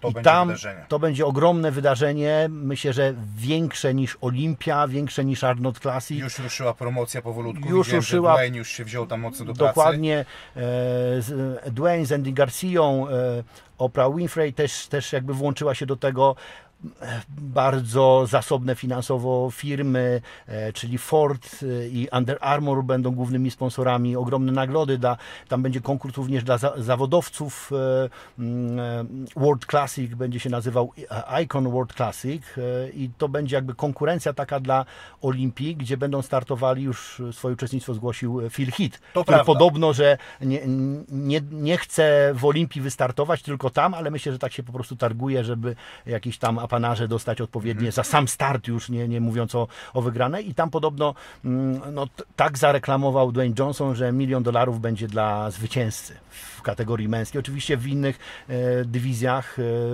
również tych zawodników e, będą nagradzali finansowo, no, ale tak się przejęło, że w kulturystyce akurat największe te nagrody finansowe są.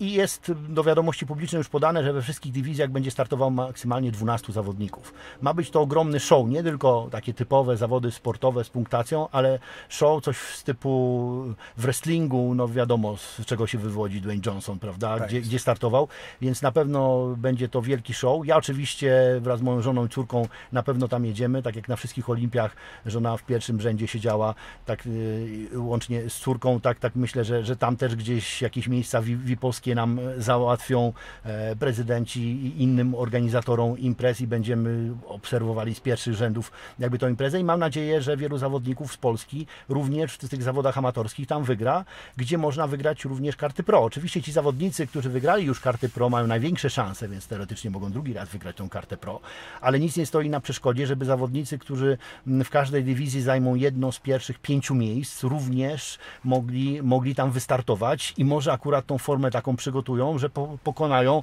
tych e, prawie zawodowców z tymi kartami pro, prawda? Poza tym sam występ na takich mistrzostwach świata, pierwszych na takiej ogromnej imprezie, najbardziej prestiżowej, na pewno już na całym świecie, no może po, po, po Olimpii, ale zobaczymy, czy nie będzie to bardziej prestiżowa impreza. Już jest wielkim jakby osiągnięciem samo bycie tam, dlatego że z niektórych kraja, krajów, gdzie nie są organizowane te zawody albo zawodnicy nie startują, bo nie wiem, jeszcze nie wiedzą o tym albo boją się e, wystartować, obawiają się banów i tak dalej, no, no to te kraje mogą nie być reprezentowane w pełnym składzie. Prawda? Tych zawodników może pojechać u nas z Polski w każdej dywizji pięć osób. No fitness niestety umarło prawie, że w naszej, znaczy w ogóle w IFBB też nie za wiele startuje, w innych federacjach, w niektórych e, powiedzmy Wojka, Wojtka Nadolskiego akurat tam kilka dziewczyn startuje, on ma dobre kontakty z takimi stowarzyszeniami gimnastycznymi, więc jeżeli jakieś zawodniczki mm, szykują się do, do, do fitness, no to u Wojtka Nadolskiego na, na zawodach mogą startować, on będzie organizował kilka dni e, przed, przed tą naszą imprezą, imprezę. U nas, jeżeli zawodniczki jakieś się zgłoszą e, do, do fitness i będzie minimum 5, to również mogą wygrać kartę pro. Jeżeli zawodniczek jest trzech w dywizji, no to liga uznaje, że jest to zbyt niski poziom, żeby przyznawać kartę pro, więc minimum musi być pięciu zawodników, pięć zawodniczek w kategorii albo w dywizji chociaż, prawda? I tutaj też taka informacja, jeszcze nieoficjalna, bo nie jestem do końca jej pewien. Od tego roku mm, są karty pro do wygrania w kategorii wellness. To Natomiast te w kategorii wellness są tylko na takich największych imprezach, gdzie jest największa ilość zawodników, czyli na Arnold Classic, na Olimpiach. Natomiast okazało się, że jest szansa, e, żeby już na tej naszej pierwszej imprezie, ponieważ obsada była bardzo dobra, 600 zawodników to jest e, na ostatniej Olimpii w Hiszpanii było mm, 600 zawodników od Emilio Martineza się dowiedziałem, na pierwszej edycji 500, więc jesteśmy już bardzo blisko tego wyniku. Powiedziano nam, że, mm, że najprawdopodobniej mm, ta zawodniczka, która wygrała, e, Mroczkowska, która wygrała mm, kategorię wellness w tych zawodach extreme, również możliwe, że otrzyma tą kartę, kartę pro, mimo że nie otrzymała jej na scenie, otrzymała taką kartę, kartę, właściwie voucher na start w zawodach Olimpia Amatorska w Hiszpanii, gdzie taką kartę pro można wygrać. Wpadłem na taki pomysł, żeby w ten sposób nagrodzić taką zawodniczkę, bo ona już była druga na Olimpii w, e, w UK, więc była dosłownie o milimetry, żeby zwyciężyć I na tych zawodach była bardzo mocna obsada akurat wellness, więc ja się tym bardzo cieszę. Tych zawodniczek by było dużo więcej, myślę, e, bo gdyby się dowiedziały, że karta pro jest do wygrania, no to z Polski i zagranicy myślę, że by dużo więcej startowało, ale myślę, że akurat z nią większych szans by nie miały. E, więc e, teraz liga się zastanawia nad tym, czy rzeczywiście nie, nie przyznać jej tej karty pro za to zwycięstwo tutaj, prawda? Nie przewidywali tego, bo myśleli, że u nas ta obsada będzie ze 300 osób, że na tych mm, zawodach Extreme wystąpi dużo mniej zawodników i nie sądzili, że w ogóle ta kategoria wellness będzie cieszyła się tak dużą popularnością i taki poziom będzie, bo te wszystkie zawodniczki, które tam były 5 czy 6, naprawdę był tak wyrównany poziom, były tak dobre, żadna nie odstawała, że byłem z tego bardzo zadowolony. Ja na to zwracam dużą uwagę, bo mnie zależy na tym, żeby tą, tą konkurencję, tą dywizję wellness już na stałe wprowadzić e, do kart pro, bo ona i tak będzie się odbywała, ale jeżeli nie ma tych kart pro, no to troszeczkę te zawody extreme w tej, e, tej konkurencji nie będą dobrze obsadzone. Mistrzostwa Polskie oczywiście będą dobrze obsadzone, bo jest no tytuł, tak. te, te wyjazdy, prawda? Natomiast tutaj, jeżeli e, tu nam się uda to przepchnąć dzięki tej zawodniczce, bo tak wysoki poziom wyśrubowała, to dzięki temu w kolejnych imprezach w maju i może we wrześniu, może już na stałe nam przyznają, co byłoby dużym osiągnięciem, bo oprócz e, zawodów Arnold Classic i o, tych Olimpii, e, ty, tych mm, kart w wellness, to tam nie wiem, czy w jakichś zawodach są przyznawane, więc to by było bardzo duże wyróżnienie prawda? Tak, tak przy okazji. Ale nie mogę tego zapewnić, bo decyzja nie jest po mojej stronie. My wysłaliśmy yes. tylko jakby tutaj wyniki, zdjęcia, jakby tą relację akurat od tej zawodniczki, która na, nam przysłała. Jest zdjęcia z poprzednich zawodów, żeby oni stwierdzili, zadecydowali, że rzeczywiście ta karta pro się jej należy. Moim zdaniem się bardzo należy. Absolutnie, jeżeli nas będzie oglądała, to myślę, że tu we dwóch, nie tylko to jest nasze zdanie w kraju. Tak, my ją. Fenomenalna mm, Żona moja już o tym e, ją poinformowała oczywiście, czym była no, bardzo zaskoczona, za nie mówiła dosłownie.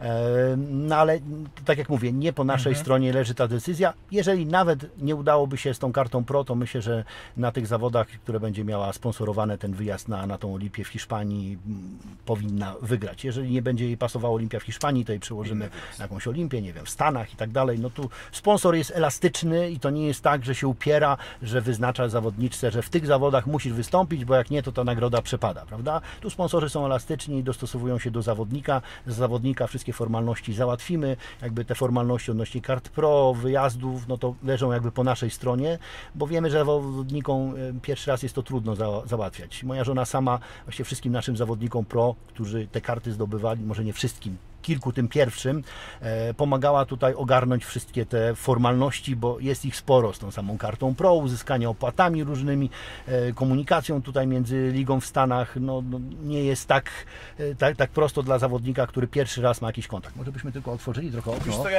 o, tak jest ok, bo przygotowany byłem, że będzie chłodniej, a tu się jak okazało, chcesz, że... Ja Ci zrobię chłodniej, tylko nie chcę, żeby nam tu szumiło, szumiało okay. w, w kamerki za bardzo i dlatego jest już Ci robię, bardzo proszę Robert, y, już Ci robię chłodniej. Mhm. Mm. Dobrze, czyli tak jak powiedziałem, w maju kolejna, kolejna impreza i tutaj opowiem troszkę o tej imprezie. Wiem, że to nam czas wydłuży, ale... My już mamy, wiesz ile nam Robert zostało? Zostało nam 5 minut czasu antenowego. Dobrze, to na ten temat szybko, szybko opowiem, Aha. tylko że w maju będzie Puchar Polski juniorów, debiutantów, Masters, czyli osób mhm. powyżej 35 i 40 roku życia kobiety, mężczyźni oraz Puchar Polski otwarty. Oczywiście wszystkie zawody międzynarodowe, wszystkie zawody, które organizuje są otwarte dla zawodników z całego świata, mogą przyjeżdżać, e, nie wiem, z Australii nawet i startować w tych zawodach. Muszą oczywiście mieć wykupioną licencję, muszą płacić wpisowe i tak dalej. To są pierwsze dwa dni i mm, te zawody sponsoruje pan Tadeusz Zaremski i firma Fitness Authority e, i od nazwy tej firmy też e, będzie w, jakby w logo, w logo festiwalu, w logo jakby tutaj tego Pucharu Polski. Natomiast trzeciego dnia szykujemy niespodziankę. Tutaj no, nieoficjalnie to, to, to powiem jeszcze, bo jakby czekam na kontrakt taki bezpośredni. Będą zawody Kevina Levrona. To jest Kevin Levron, no, ikona kulturystyki światowej.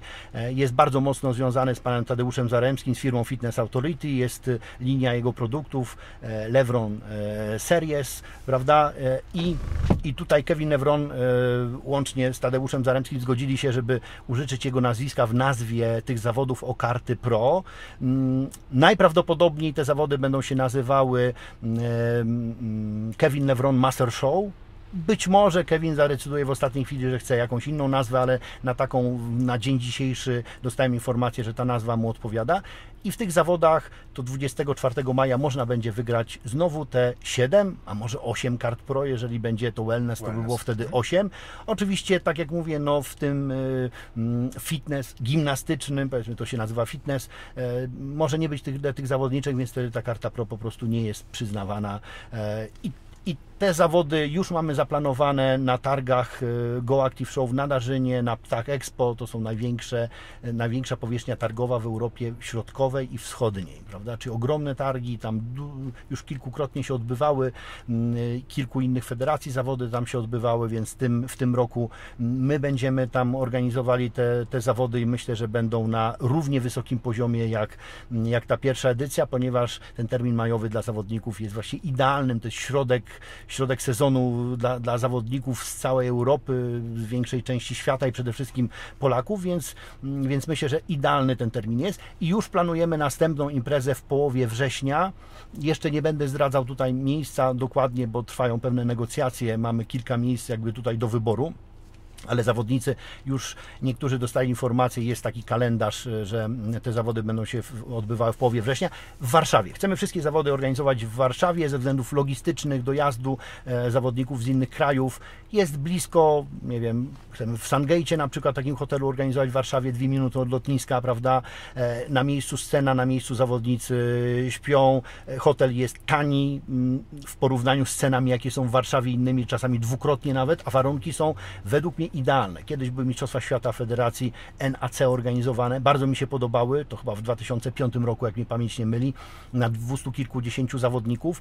Powierzchnia taka wystawowa, backstage i, i scena jest dwa razy większa e, niż teraz te zawody, co robiliśmy, czyli teoretycznie moglibyśmy nawet, nie wiem, dla tysiąca zawodników zrobić i kibiców i też by się zmieścili jakby w tym hotelu. Oczywiście miejsc hotelowych mogłoby zabraknąć, ale hoteli jest wokoło pełno. Blisko lotniska zawodnicy, z tego co mi przekazują, lubią Warszawę.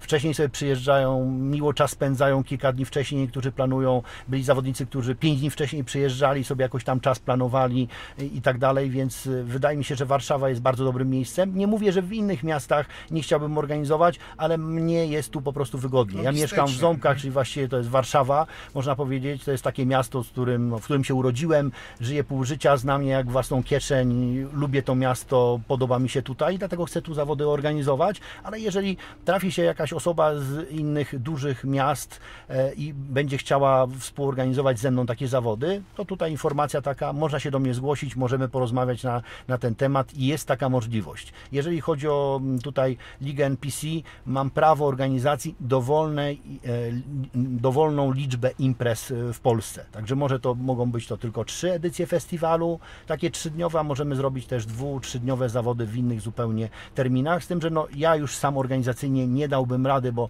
przy tym okazuje się, że przy takiej ilości zawodników jest masa pracy, korespondencji. Z każdym zawodnikiem jest co najmniej kilka maili albo wiadomości na WhatsAppie przed zawodami, więc widać przy tej liczbie zawodników jest to ogrom, ogrom pracy i nie byłbym w stanie częściej organizować takich zawodów niż co 3-4 miesiące, po prostu fizycznie. I tak musiałem wyłączyć wiele moich innych zajęć, które no, po, powiedzmy od wielu lat wykonywałem, ale już nie mam na to po prostu czasu, więc zajmuję się zawodnikami i organizacją kolejnych tych edycji festiwalu, równocześnie z wyprzedzeniem nawet dwóch edycji, no bo e, organizatorzy o tym dobrze wiedzą, że trzeba takie terminy bukować minimum pół roku, a najlepiej koło roku wcześniej w ogóle, żeby dany termin sobie zarezerwować i halę wybrać i żeby to wszystko było dopięte na ostatni guzik. Nie jest to proste. A niestety i tak zawodnicy zawsze jakiegoś psikusa na samym końcu nam zrobią, czegoś nie doczytają, e, nie, nie dopatrzą, nie opłacą i będziemy musieli robić to tuż przed zawodami, ale już wiemy, jakie zrobić poprawki.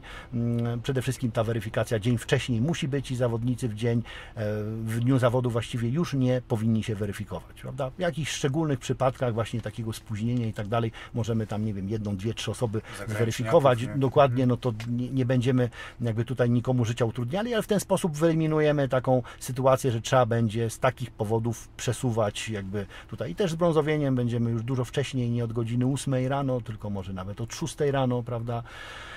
pomagali e, zawodnikom, bo to jest bardzo, bardzo ważna rzecz, a, a my to robimy profesjonalnie, możemy tego robić na Odwal się prawda? No tak, tak. żeby tylko zawodnik wyszedł, ale musi być każda kropeczka poprawiona. Zawodnik ma się czuć komfortowo na scenie i nie mieć jakiejś schizy, nazwijmy to takiej, że coś tam gdzieś sędzia zobaczy i przez to nie będzie odpowiednio oceniony. Sam wiem, jak to było.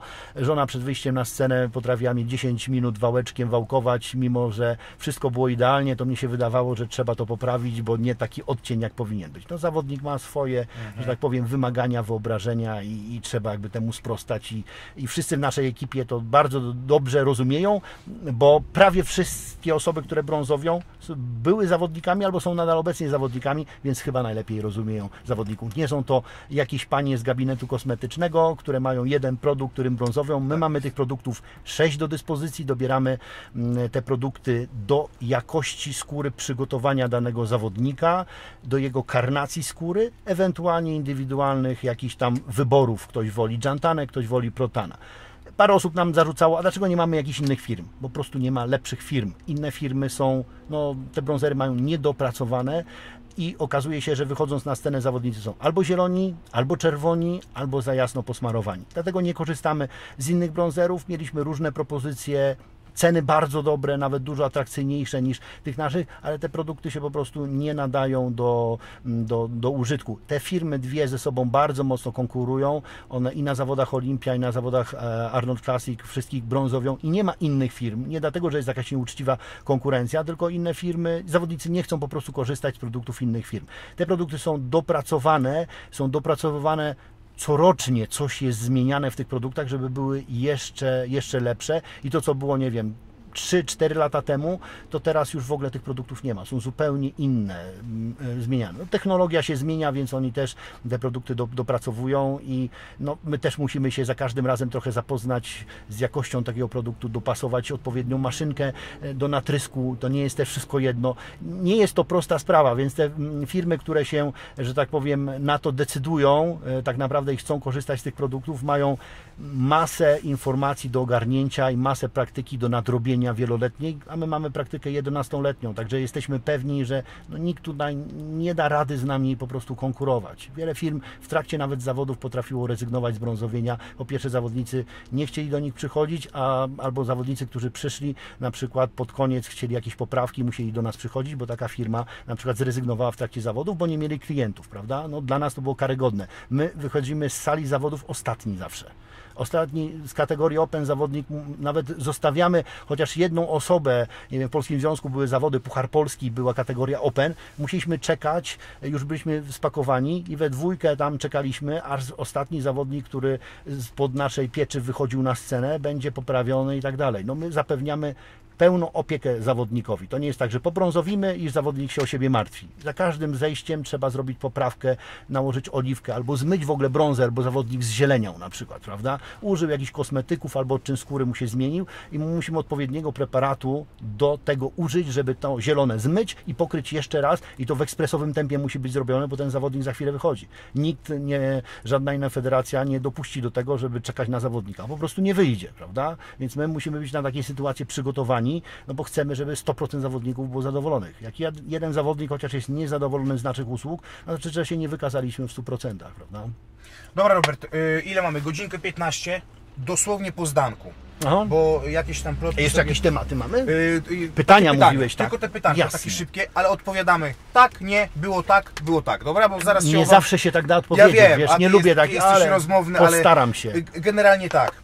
Y, ile było w sumie zawodników? Bo tu jakieś tam proteczki się pojawiły. W sumie których wystąpiło dokładnie mhm. było 594 mhm. zawodników. Zgłoszonych 703. 703 opłaconych e, z opłaconymi licencjami i wpisowym. Okej, okay, mamy to, bo tu było wątpliwości, że miało być tylu zawodników, a tam już widzę plotki w internecie, że było chyba może 200, ale to już wiemy. Jednego dnia, tak. tak. Był, e, na Mistrzostwach Polski było e, 400 47 chyba, czy 37, już nie pamiętam, bo te liczby się tak zmieniały. Wcześniej przed zawodami było dużo więcej, że musieliśmy listy zamykać, a później się okazało, że nie dojechali, albo się nie zgłosili, albo zrezygnowali po debiutach, powiedzieli, że no, nie są w formie, nie wiem, coś się tam zmieniło. W, w, mm, w debiutach było ponad 200 i około 150 chyba w Extreme, też miało być po, pod 200, no ale większość nie dojechała tych z zagranicy zawodników, z Turcji przede wszystkim. No okay. Mieliśmy jeszcze e, z Afryki mm, kilka, kilka ekip, i też niestety ich nie wpuścili. No niestety ten koronawirus nie tylko nam płata figle i tutaj te służby są bardzo wyczulone. Nawet e, e, z Urzędu Celnego do nas dzwoniono, czy tacy zawodnicy u nas się zapisali, musieliśmy tam odpowiadać i tak dalej, a później finalnie się okazało, że i tak w ogóle nie, nie przyjechali i nie dolecieli, mimo że opłacili to wpisowe. Więc jakby tu tych zawodników i tak poinformujemy, że mają prawo wystąpić w maju. No skoro opłacili, nie mogli z przyczyn losowych przyjechać, to będą mogli wystąpić po prostu w następnej edycji. Dobra, lecimy dalej. Same konkrety. Jakieś tam problemy z drukarką były? Bo się czepnęli ludzie drukarki. Coś tam się działo. E, Działo się to, że musieliśmy ponownie drukować listy i trzeba było wymieniać tusz po prostu, ale to trwało, nie wiem, 2-3 minuty, prawda, ustawienie, kalibracja i tak dalej, więc problemów tak naprawdę żadnych nie było. Musieliśmy jakieś wytłumaczenie znaleźć, a nie się tłumaczyć, że zawodnicy brązowieni są Okej. i tak dalej, prawda, no To jest, to jest też, to jest też ważne. Przyjęliśmy, ważny, był feedback. taki problem, e, problemy e, na- natury technicznej, Technicznej. ogólnie, prawda? Okej. A jaka to technika, no to już jakby wytłumaczyłem, o co chodzi. Jak zwykle, znaczy jak zwykle, rozmawialiśmy już dwa razy, rozmawiamy trzeci raz i ty zawsze, że tak powiem, czytasz mnie jak z kartki. Co ja chcę się wcześniej zapytać, to ty już to mówisz. No mam więc- taki Dariusz, czytania w myśli. Tak, chyba tak. Odpowiedziałeś, jak to jest z tymi cenami biletów. Myślę, że tutaj nie ma co tego tematu poruszać, bo tu też się Wiem, że o tym było bardzo Tak. głośno, bo O 250 setki informacji dostałem, e, nawet informacje, Mhm. zapłacę każdą cenę. Ja powiedziałem, przykro mi, no nie mogę. Nawet nie informowałem, że będzie sprzedaż na, na miejscu, dlatego że no nie mogłem tak powiedzieć, bo wiele osób by przyszło i była kolejka i by byli niezadowoleni. Powiedziałem, że nie ma sprzedaży na miejscu. Owszem, okazało się, że, za, e, że kibice się rozdzielili na tą część dla kobiet od 17, e, czy tam od 16 w w kolejne dni i tą część męską i dlatego na widowni było więcej miejsc wolnych. Poza tym tak, Miejsc mieliśmy przygotowanych dla zawodników, trenerów i kibiców, wystawców dokładnie 700. I strażak nie dopuściłby więcej, bo to było wszystko liczone, prawda? Natomiast samych krzesełek na górze było 194, na dole było ustawione 302 krzesełka, prawda? Czyli około 500. Ale zawodnicy, którzy byli na backstage'u, ich trenerzy, nie przychodzili na te krzesełka, tylko cały czas właściwie byli tam. Część w części targowej się rozłożyła, część na te trybuny górne weszła, więc ja oceniam, że w niektórych momentach było połowę tych krzesełek zajętych, a połowę było wolnych. No i to był, i to Ale- był powód do plotek również. No, to tak, ale no, jeżeli e, zakładając bilety były po 200 zł, przerwaliśmy ich sprzedaż, to czy z punktu biznesowego ja bym tą sprzedaż No oczywiście, gdybym oczekiwał, że będą wolne miejsca? No jeżeli ktoś tak mówi, to znaczy, że posądza mnie, że nie mam, nie wiem, In, smykałki do interesu. do, do interesów, dokładnie. Nie sprzedałem biletów po 200 zł, nie wiem, 100, prawda? Bo tak sobie wymyśliłem. No, no nie, nie wymyśliłem, tylko dla mnie jest ważniejsze to, żeby kibice byli zadowoleni i żeby przyszli tylko ci, co naprawdę chcą i żeby nie było takiej sytuacji, że niestety ochrona ich fizycznie nie wpuści na obiekt. No bo co to by było później, prawda? Kupiłem bilety i Nie, nie tak. wszedłem na No, obiekt. No ja to ja wolę, żeby tych miejsc było połowa wolnych, prawda? Bo nie byłem w stanie przewidzieć. Może te osoby, które kibicują kobietom przyjdą wcześniej, albo dziewczyny przyjdą wcześniej i będą sobie czekały, oglądały na krzesełkach, prawda? Nie jest to do przewidzenia i tego no, nie mogłem takiego błędu popełnić i sprzedać tysiąc biletów na, na 700 miejsc Nie, no i liczyć jasne. na to, że w jednym momencie akurat nie przyjdzie może tyle tych osób. Więc jakby myślę, że ten mm, jakby mi Wyjaś- tutaj pomówienie E, Już nie będę wspominał, jakie portale związane z federacją e, Wiemy. konkurencyjną, e, jakie głupoty, mogę powiedzieć, pisały. Napisały kilka takich informacji i mm, dostały informację, że zostaną pozwane do sądu za wprowadzanie w błąd i oczywiście usunęły. Nie wszystkie usunęły, ale już się wszystkiego nie będziemy czepiali, bo to też jakaś reklama jest dla nich, dla nas, prawda? Komentarze, e, że tak powiem, unaoczniły tym osobom, które nie były i coś tam próbowały powiedzieć, jak było naprawdę. Zresztą jak ktoś sobie obejrzy filmy, relacje od zawodników, wejdzie na, na Instagrama, no to będzie wiedział, jaka była prawda, prawda, że nie, nie była taka, jak przedstawia, nazwijmy to, konkurencja. Radzę przed e, przeczytaniem jakiegoś tekstu kogoś, jakby szkalującego nas, zapoznanie się z bio takiej osoby. Z kim jest związana, czy nie jest to czasami, nie wiem, trener, zawodnik, czy działacz, czy sędzia, a najczęściej tak jest, a właściwie z tego co ja sprawdzałem, to zawsze tak jest, że jest konkurencyjnej federacji. Więc jakby to temat, temat uważam za zamknięty i jest. wyjaśniony. Dwa ostatnie pytania, bo tu, tu się najczęściej pojawiały, ale też odpowiedziałeś. Robert, dosłownie jedno zdanie, bo się obawiam, że nam tu się bateryjki wyłączą i trochę będzie, wiesz, nieładnie zakończymy wywiad, a tak bym nie chciał. Jaka była ostatecznie pula nagród? Mhm, jasne. Pula nagród przekroczyła 600 tysięcy złotych. Z tym, że chcę wyjaśnić, tak jak już wyjaśniałem to wcześniej, Mhm. Tak. nie, było, było nagród nagród, finansowych. finansowych, były nagrody rzeczowe, były vouchery na produkty różnego rodzaju, były takie vouchery, że można było te produkty otrzymać za darmo, tylko trzeba było za wysyłkę zapłacić, albo trzeba było jakieś, o jakiejś wartości zrobić na przykład zakupy. Na przykład firma e, Pure Fresh ufundowała 2000 voucherów o wartości 200 zł. Trzeba było na przykład tylko zamówić, tylko, no, zawodnik albo mm, osoba, której zawodnik oddał, powinna zamówić dietę na dwa tygodnie na przykład, prawda? I wtedy otrzymuje 200 zł. Oczywiście, gdybym nie miał takich voucherów, to w ogóle nie byłoby takich nagród. Wiem, że wiele osób korzysta, bo ja e, tą firmę jakby promuję, sam z jej usług korzystam, więc dziesiątki osób korzystają z jej usług, bardzo sobie chwalą, nie mają takich zniżek, więc osoby, które mają taką zniżkę, mogą przekazać znajomemu, rodzinie i tak dalej, prawda? Natomiast większość nagród, no to, to były Sama karta Pro to jest wartość 15 tysięcy złotych, bo tyle kosztuje jedna karta Pro, tyle muszę zapłacić za nią, żeby później zawodnikowi przyznać. A I zawodnik jest już to wtedy jest zwolniony z kosztów. tak, zwolniony z To jest kosztów. bardzo ważna informacja, E, bo ludzie podejrzewam o tym nie wiedzą albo Nie wiedzą. Wiesz, Powiem tak, rozdaliśmy, wygrali zawodnicy 122 statuetki, łącznie tam z trenerami, byli trenerzy wyróżnieni, 122 statuetki. Takie duże statuetki, które mieliśmy, to jest koszt około 350 zł jednej statuetki, więc można sobie przemnożyć to. Każdy zawodnik powinien otrzymać medal pamiątkowy albo pierwsze piątki w odpowiednich kolorach. Oczywiście część debiutantów nie zauważyła, że przy scenie e, było takie miejsce, gdzie te medale były, my o tym informowaliśmy. Później następnego dnia przychodzili, to odbierali. Z Mistrzostw Polski właściwie wszyscy chyba dostali, może parę osób nie otrzymało. No, nie kontrolowaliśmy tego, bo podchodzić do każdego zawodnika no, No tak, byłoby tak, tak, trudno. tak, tak. Nie, nie byłoby takiej nawet możliwości. Z zawodów Extreme wszyscy otrzymali. Chy- chyba, chyba, że ktoś zapomniał, szybko szedł ze sceny i później się nie wrócił, prawda? Więc koszt nawet takiego samego medalu to jest około 30 zł, a tych medali mieliśmy przygotowanych dla wszystkich dokładnie zawodników. Niektórzy brali tam dla rodziny, jakieś pamiątkowe, bo mieliśmy ich jakby tutaj więcej. No i oczywiście, tak jak mówiłem, no, firma na przykład Extreme e, Fitness Łukasza Dojki ufundowała e, 700 karnetów takich miesięcznych. Wartość każdego karnetu to jest około 100 zł.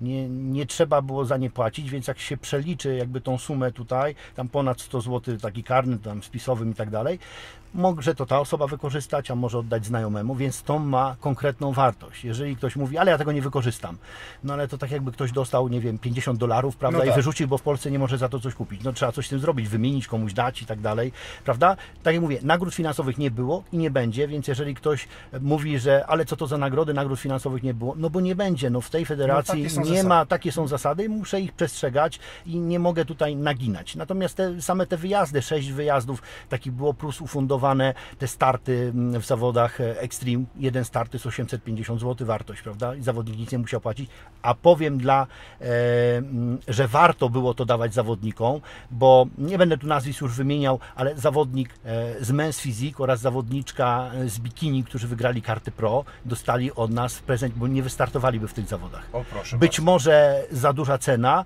ale z tego co wiem, oni po prostu nie czuli się jeszcze na siłach według nich, żeby wystąpić w tych zawodach i w ogóle walczyć o te karty pro, ale się okazało, że ich sylwetki były, były lepsze nawet od zawodników bardzo zaawansowanych, którzy wcześniej o krok już od tej karty pro byli gdzieś tam na zawodach po Europie podróżując, prawda? Czyli widać, że te nagrody, które fundowaliśmy dla zawodników były ważne i nawet spowodowały, że wygrali, wygrali te karty pro. Nawet ten zawodnik e, na, na swoim mm, Instagramie umieścił taki post, że to były dwa dni, e, które zmieniły jego życie.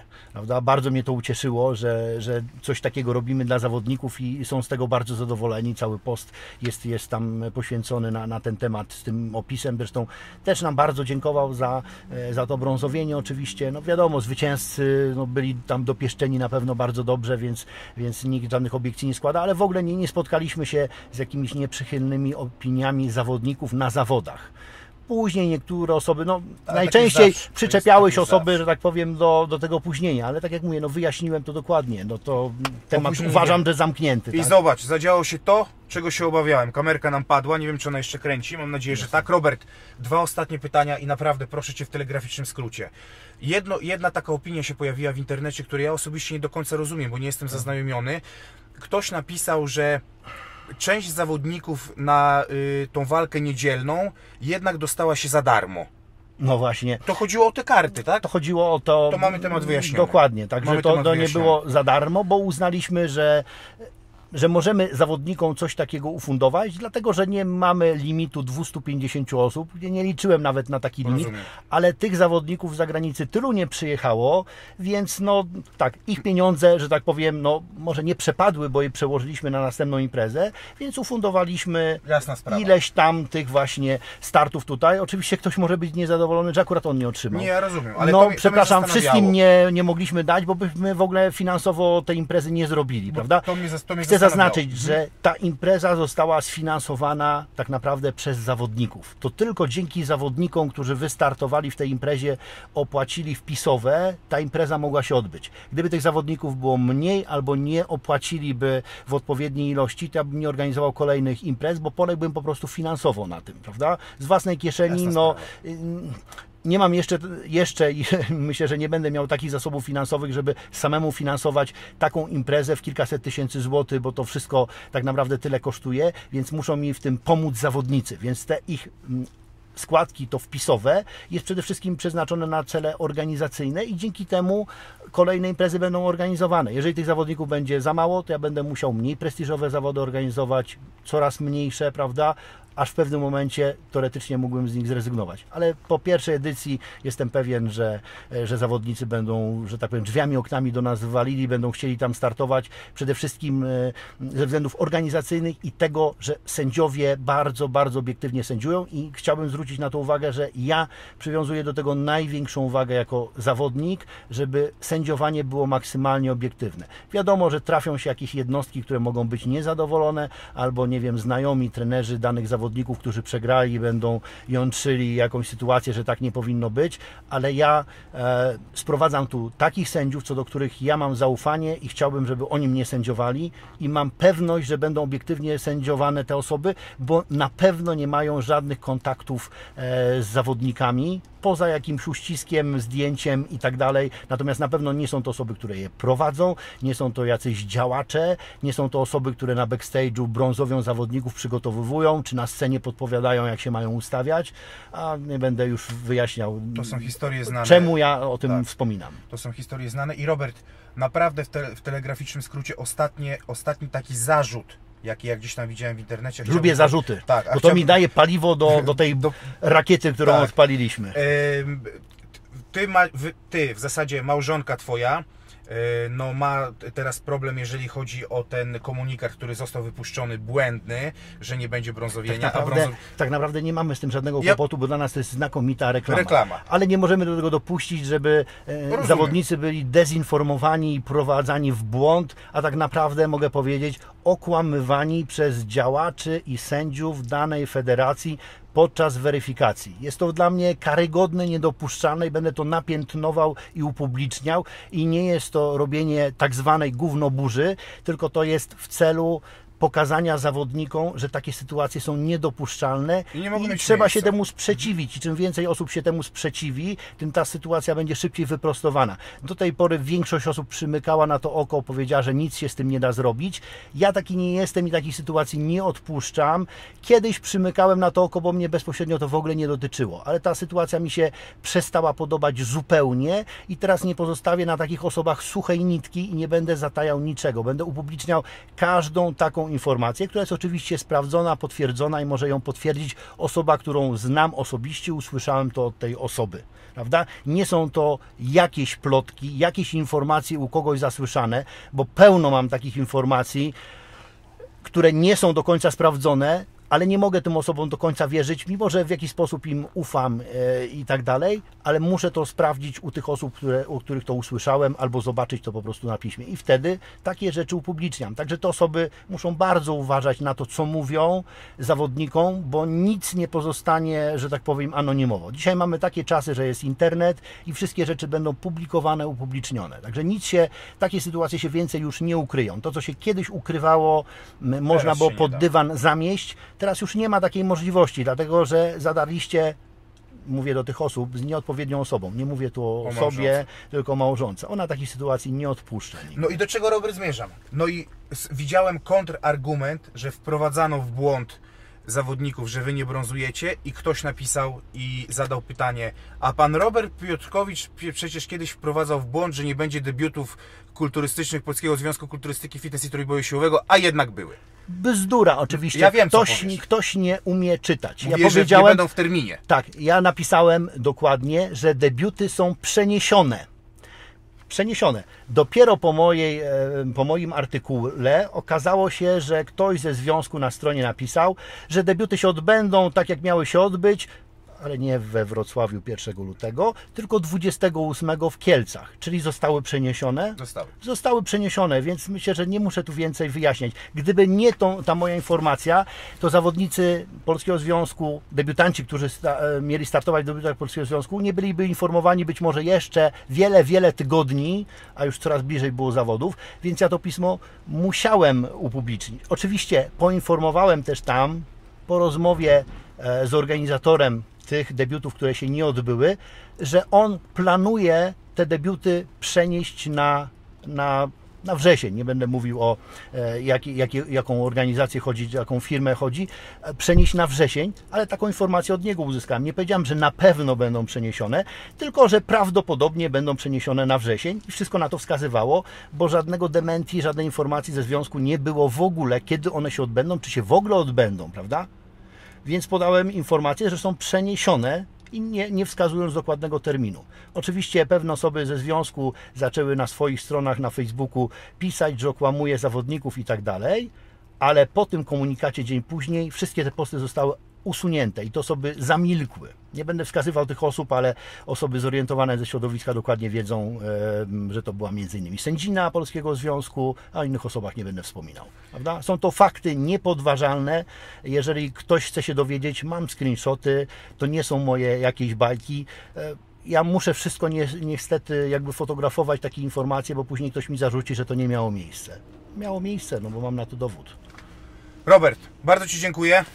Y, Robert Piotrkowicz, oczywiście Krzysztof Ferenc Wyjaszek Fericze. Materiał y, ukaże się na kanale Sixpack TV specjalnie dla Was. Ja starałem się dzisiaj być maksymalnie y, niestronniczy, jeżeli mogę w ten sposób powiedzieć. Jestem od tego, żeby zadawać pytania. Mam gościa po to, żeby Wam pewne rzeczy wyjaśnił, opowiedział. Wy y, możecie sobie wybierać, czy chcecie być w Federacji AFBB, czy chcecie być w NPC, czy chcecie być w NIC. To nie jest moja tak naprawdę sprawa. Ważne, żebyście wybrali wolność. Tak, wyboru. ważne, żebyście, wydaje mi się, żeby była wolność wyboru. Powiem to, co jest takie może e, oblatane takie powiedzenie, ale sport powinien być poza, po, ponad barierami, powinien łączyć, a nie dzielić. Uważam, że tutaj w pewnych kwestiach dzieli albo pewne osoby dzielą, ale to już zostawiam w Waszej gestii, Wy sobie przemyślcie. Mm, Subskrybujcie kanał Sixpack TV, oczywiście kciuki w górę, jeżeli rozmowa się podobała. Komentarze bardzo proszę konstruktywne, nieobraźliwe w stosunku do Roberta, nieobraźliwe w stosunku do związku, nieobraźliwe w stosunku do NPC. W ogóle o takie rozsądne, fajnie jakby się zrobiła dyskusja, rozmowa w komentarzach. No i generalnie myślę, że fajna rozmowa, bardzo długo. Tyle. Jeszcze raz bardzo dziękuję. Ja też bardzo dziękuję za uwagę. Długo było, ale myślę, że treściwie Konkretnie. i zainteresowani, jakie wnioski z tego wysnują. Tak jest. Y, prąd się kończy w kamerkach. Myślę, że się jeszcze nie wyłączyły. Pozdrowionka, Eloszka. Dzięki, cześć. Hejka. Pamiętajcie o subskrybowaniu naszego kanału, klikajcie dzwoneczek i zostawcie po sobie komentarz.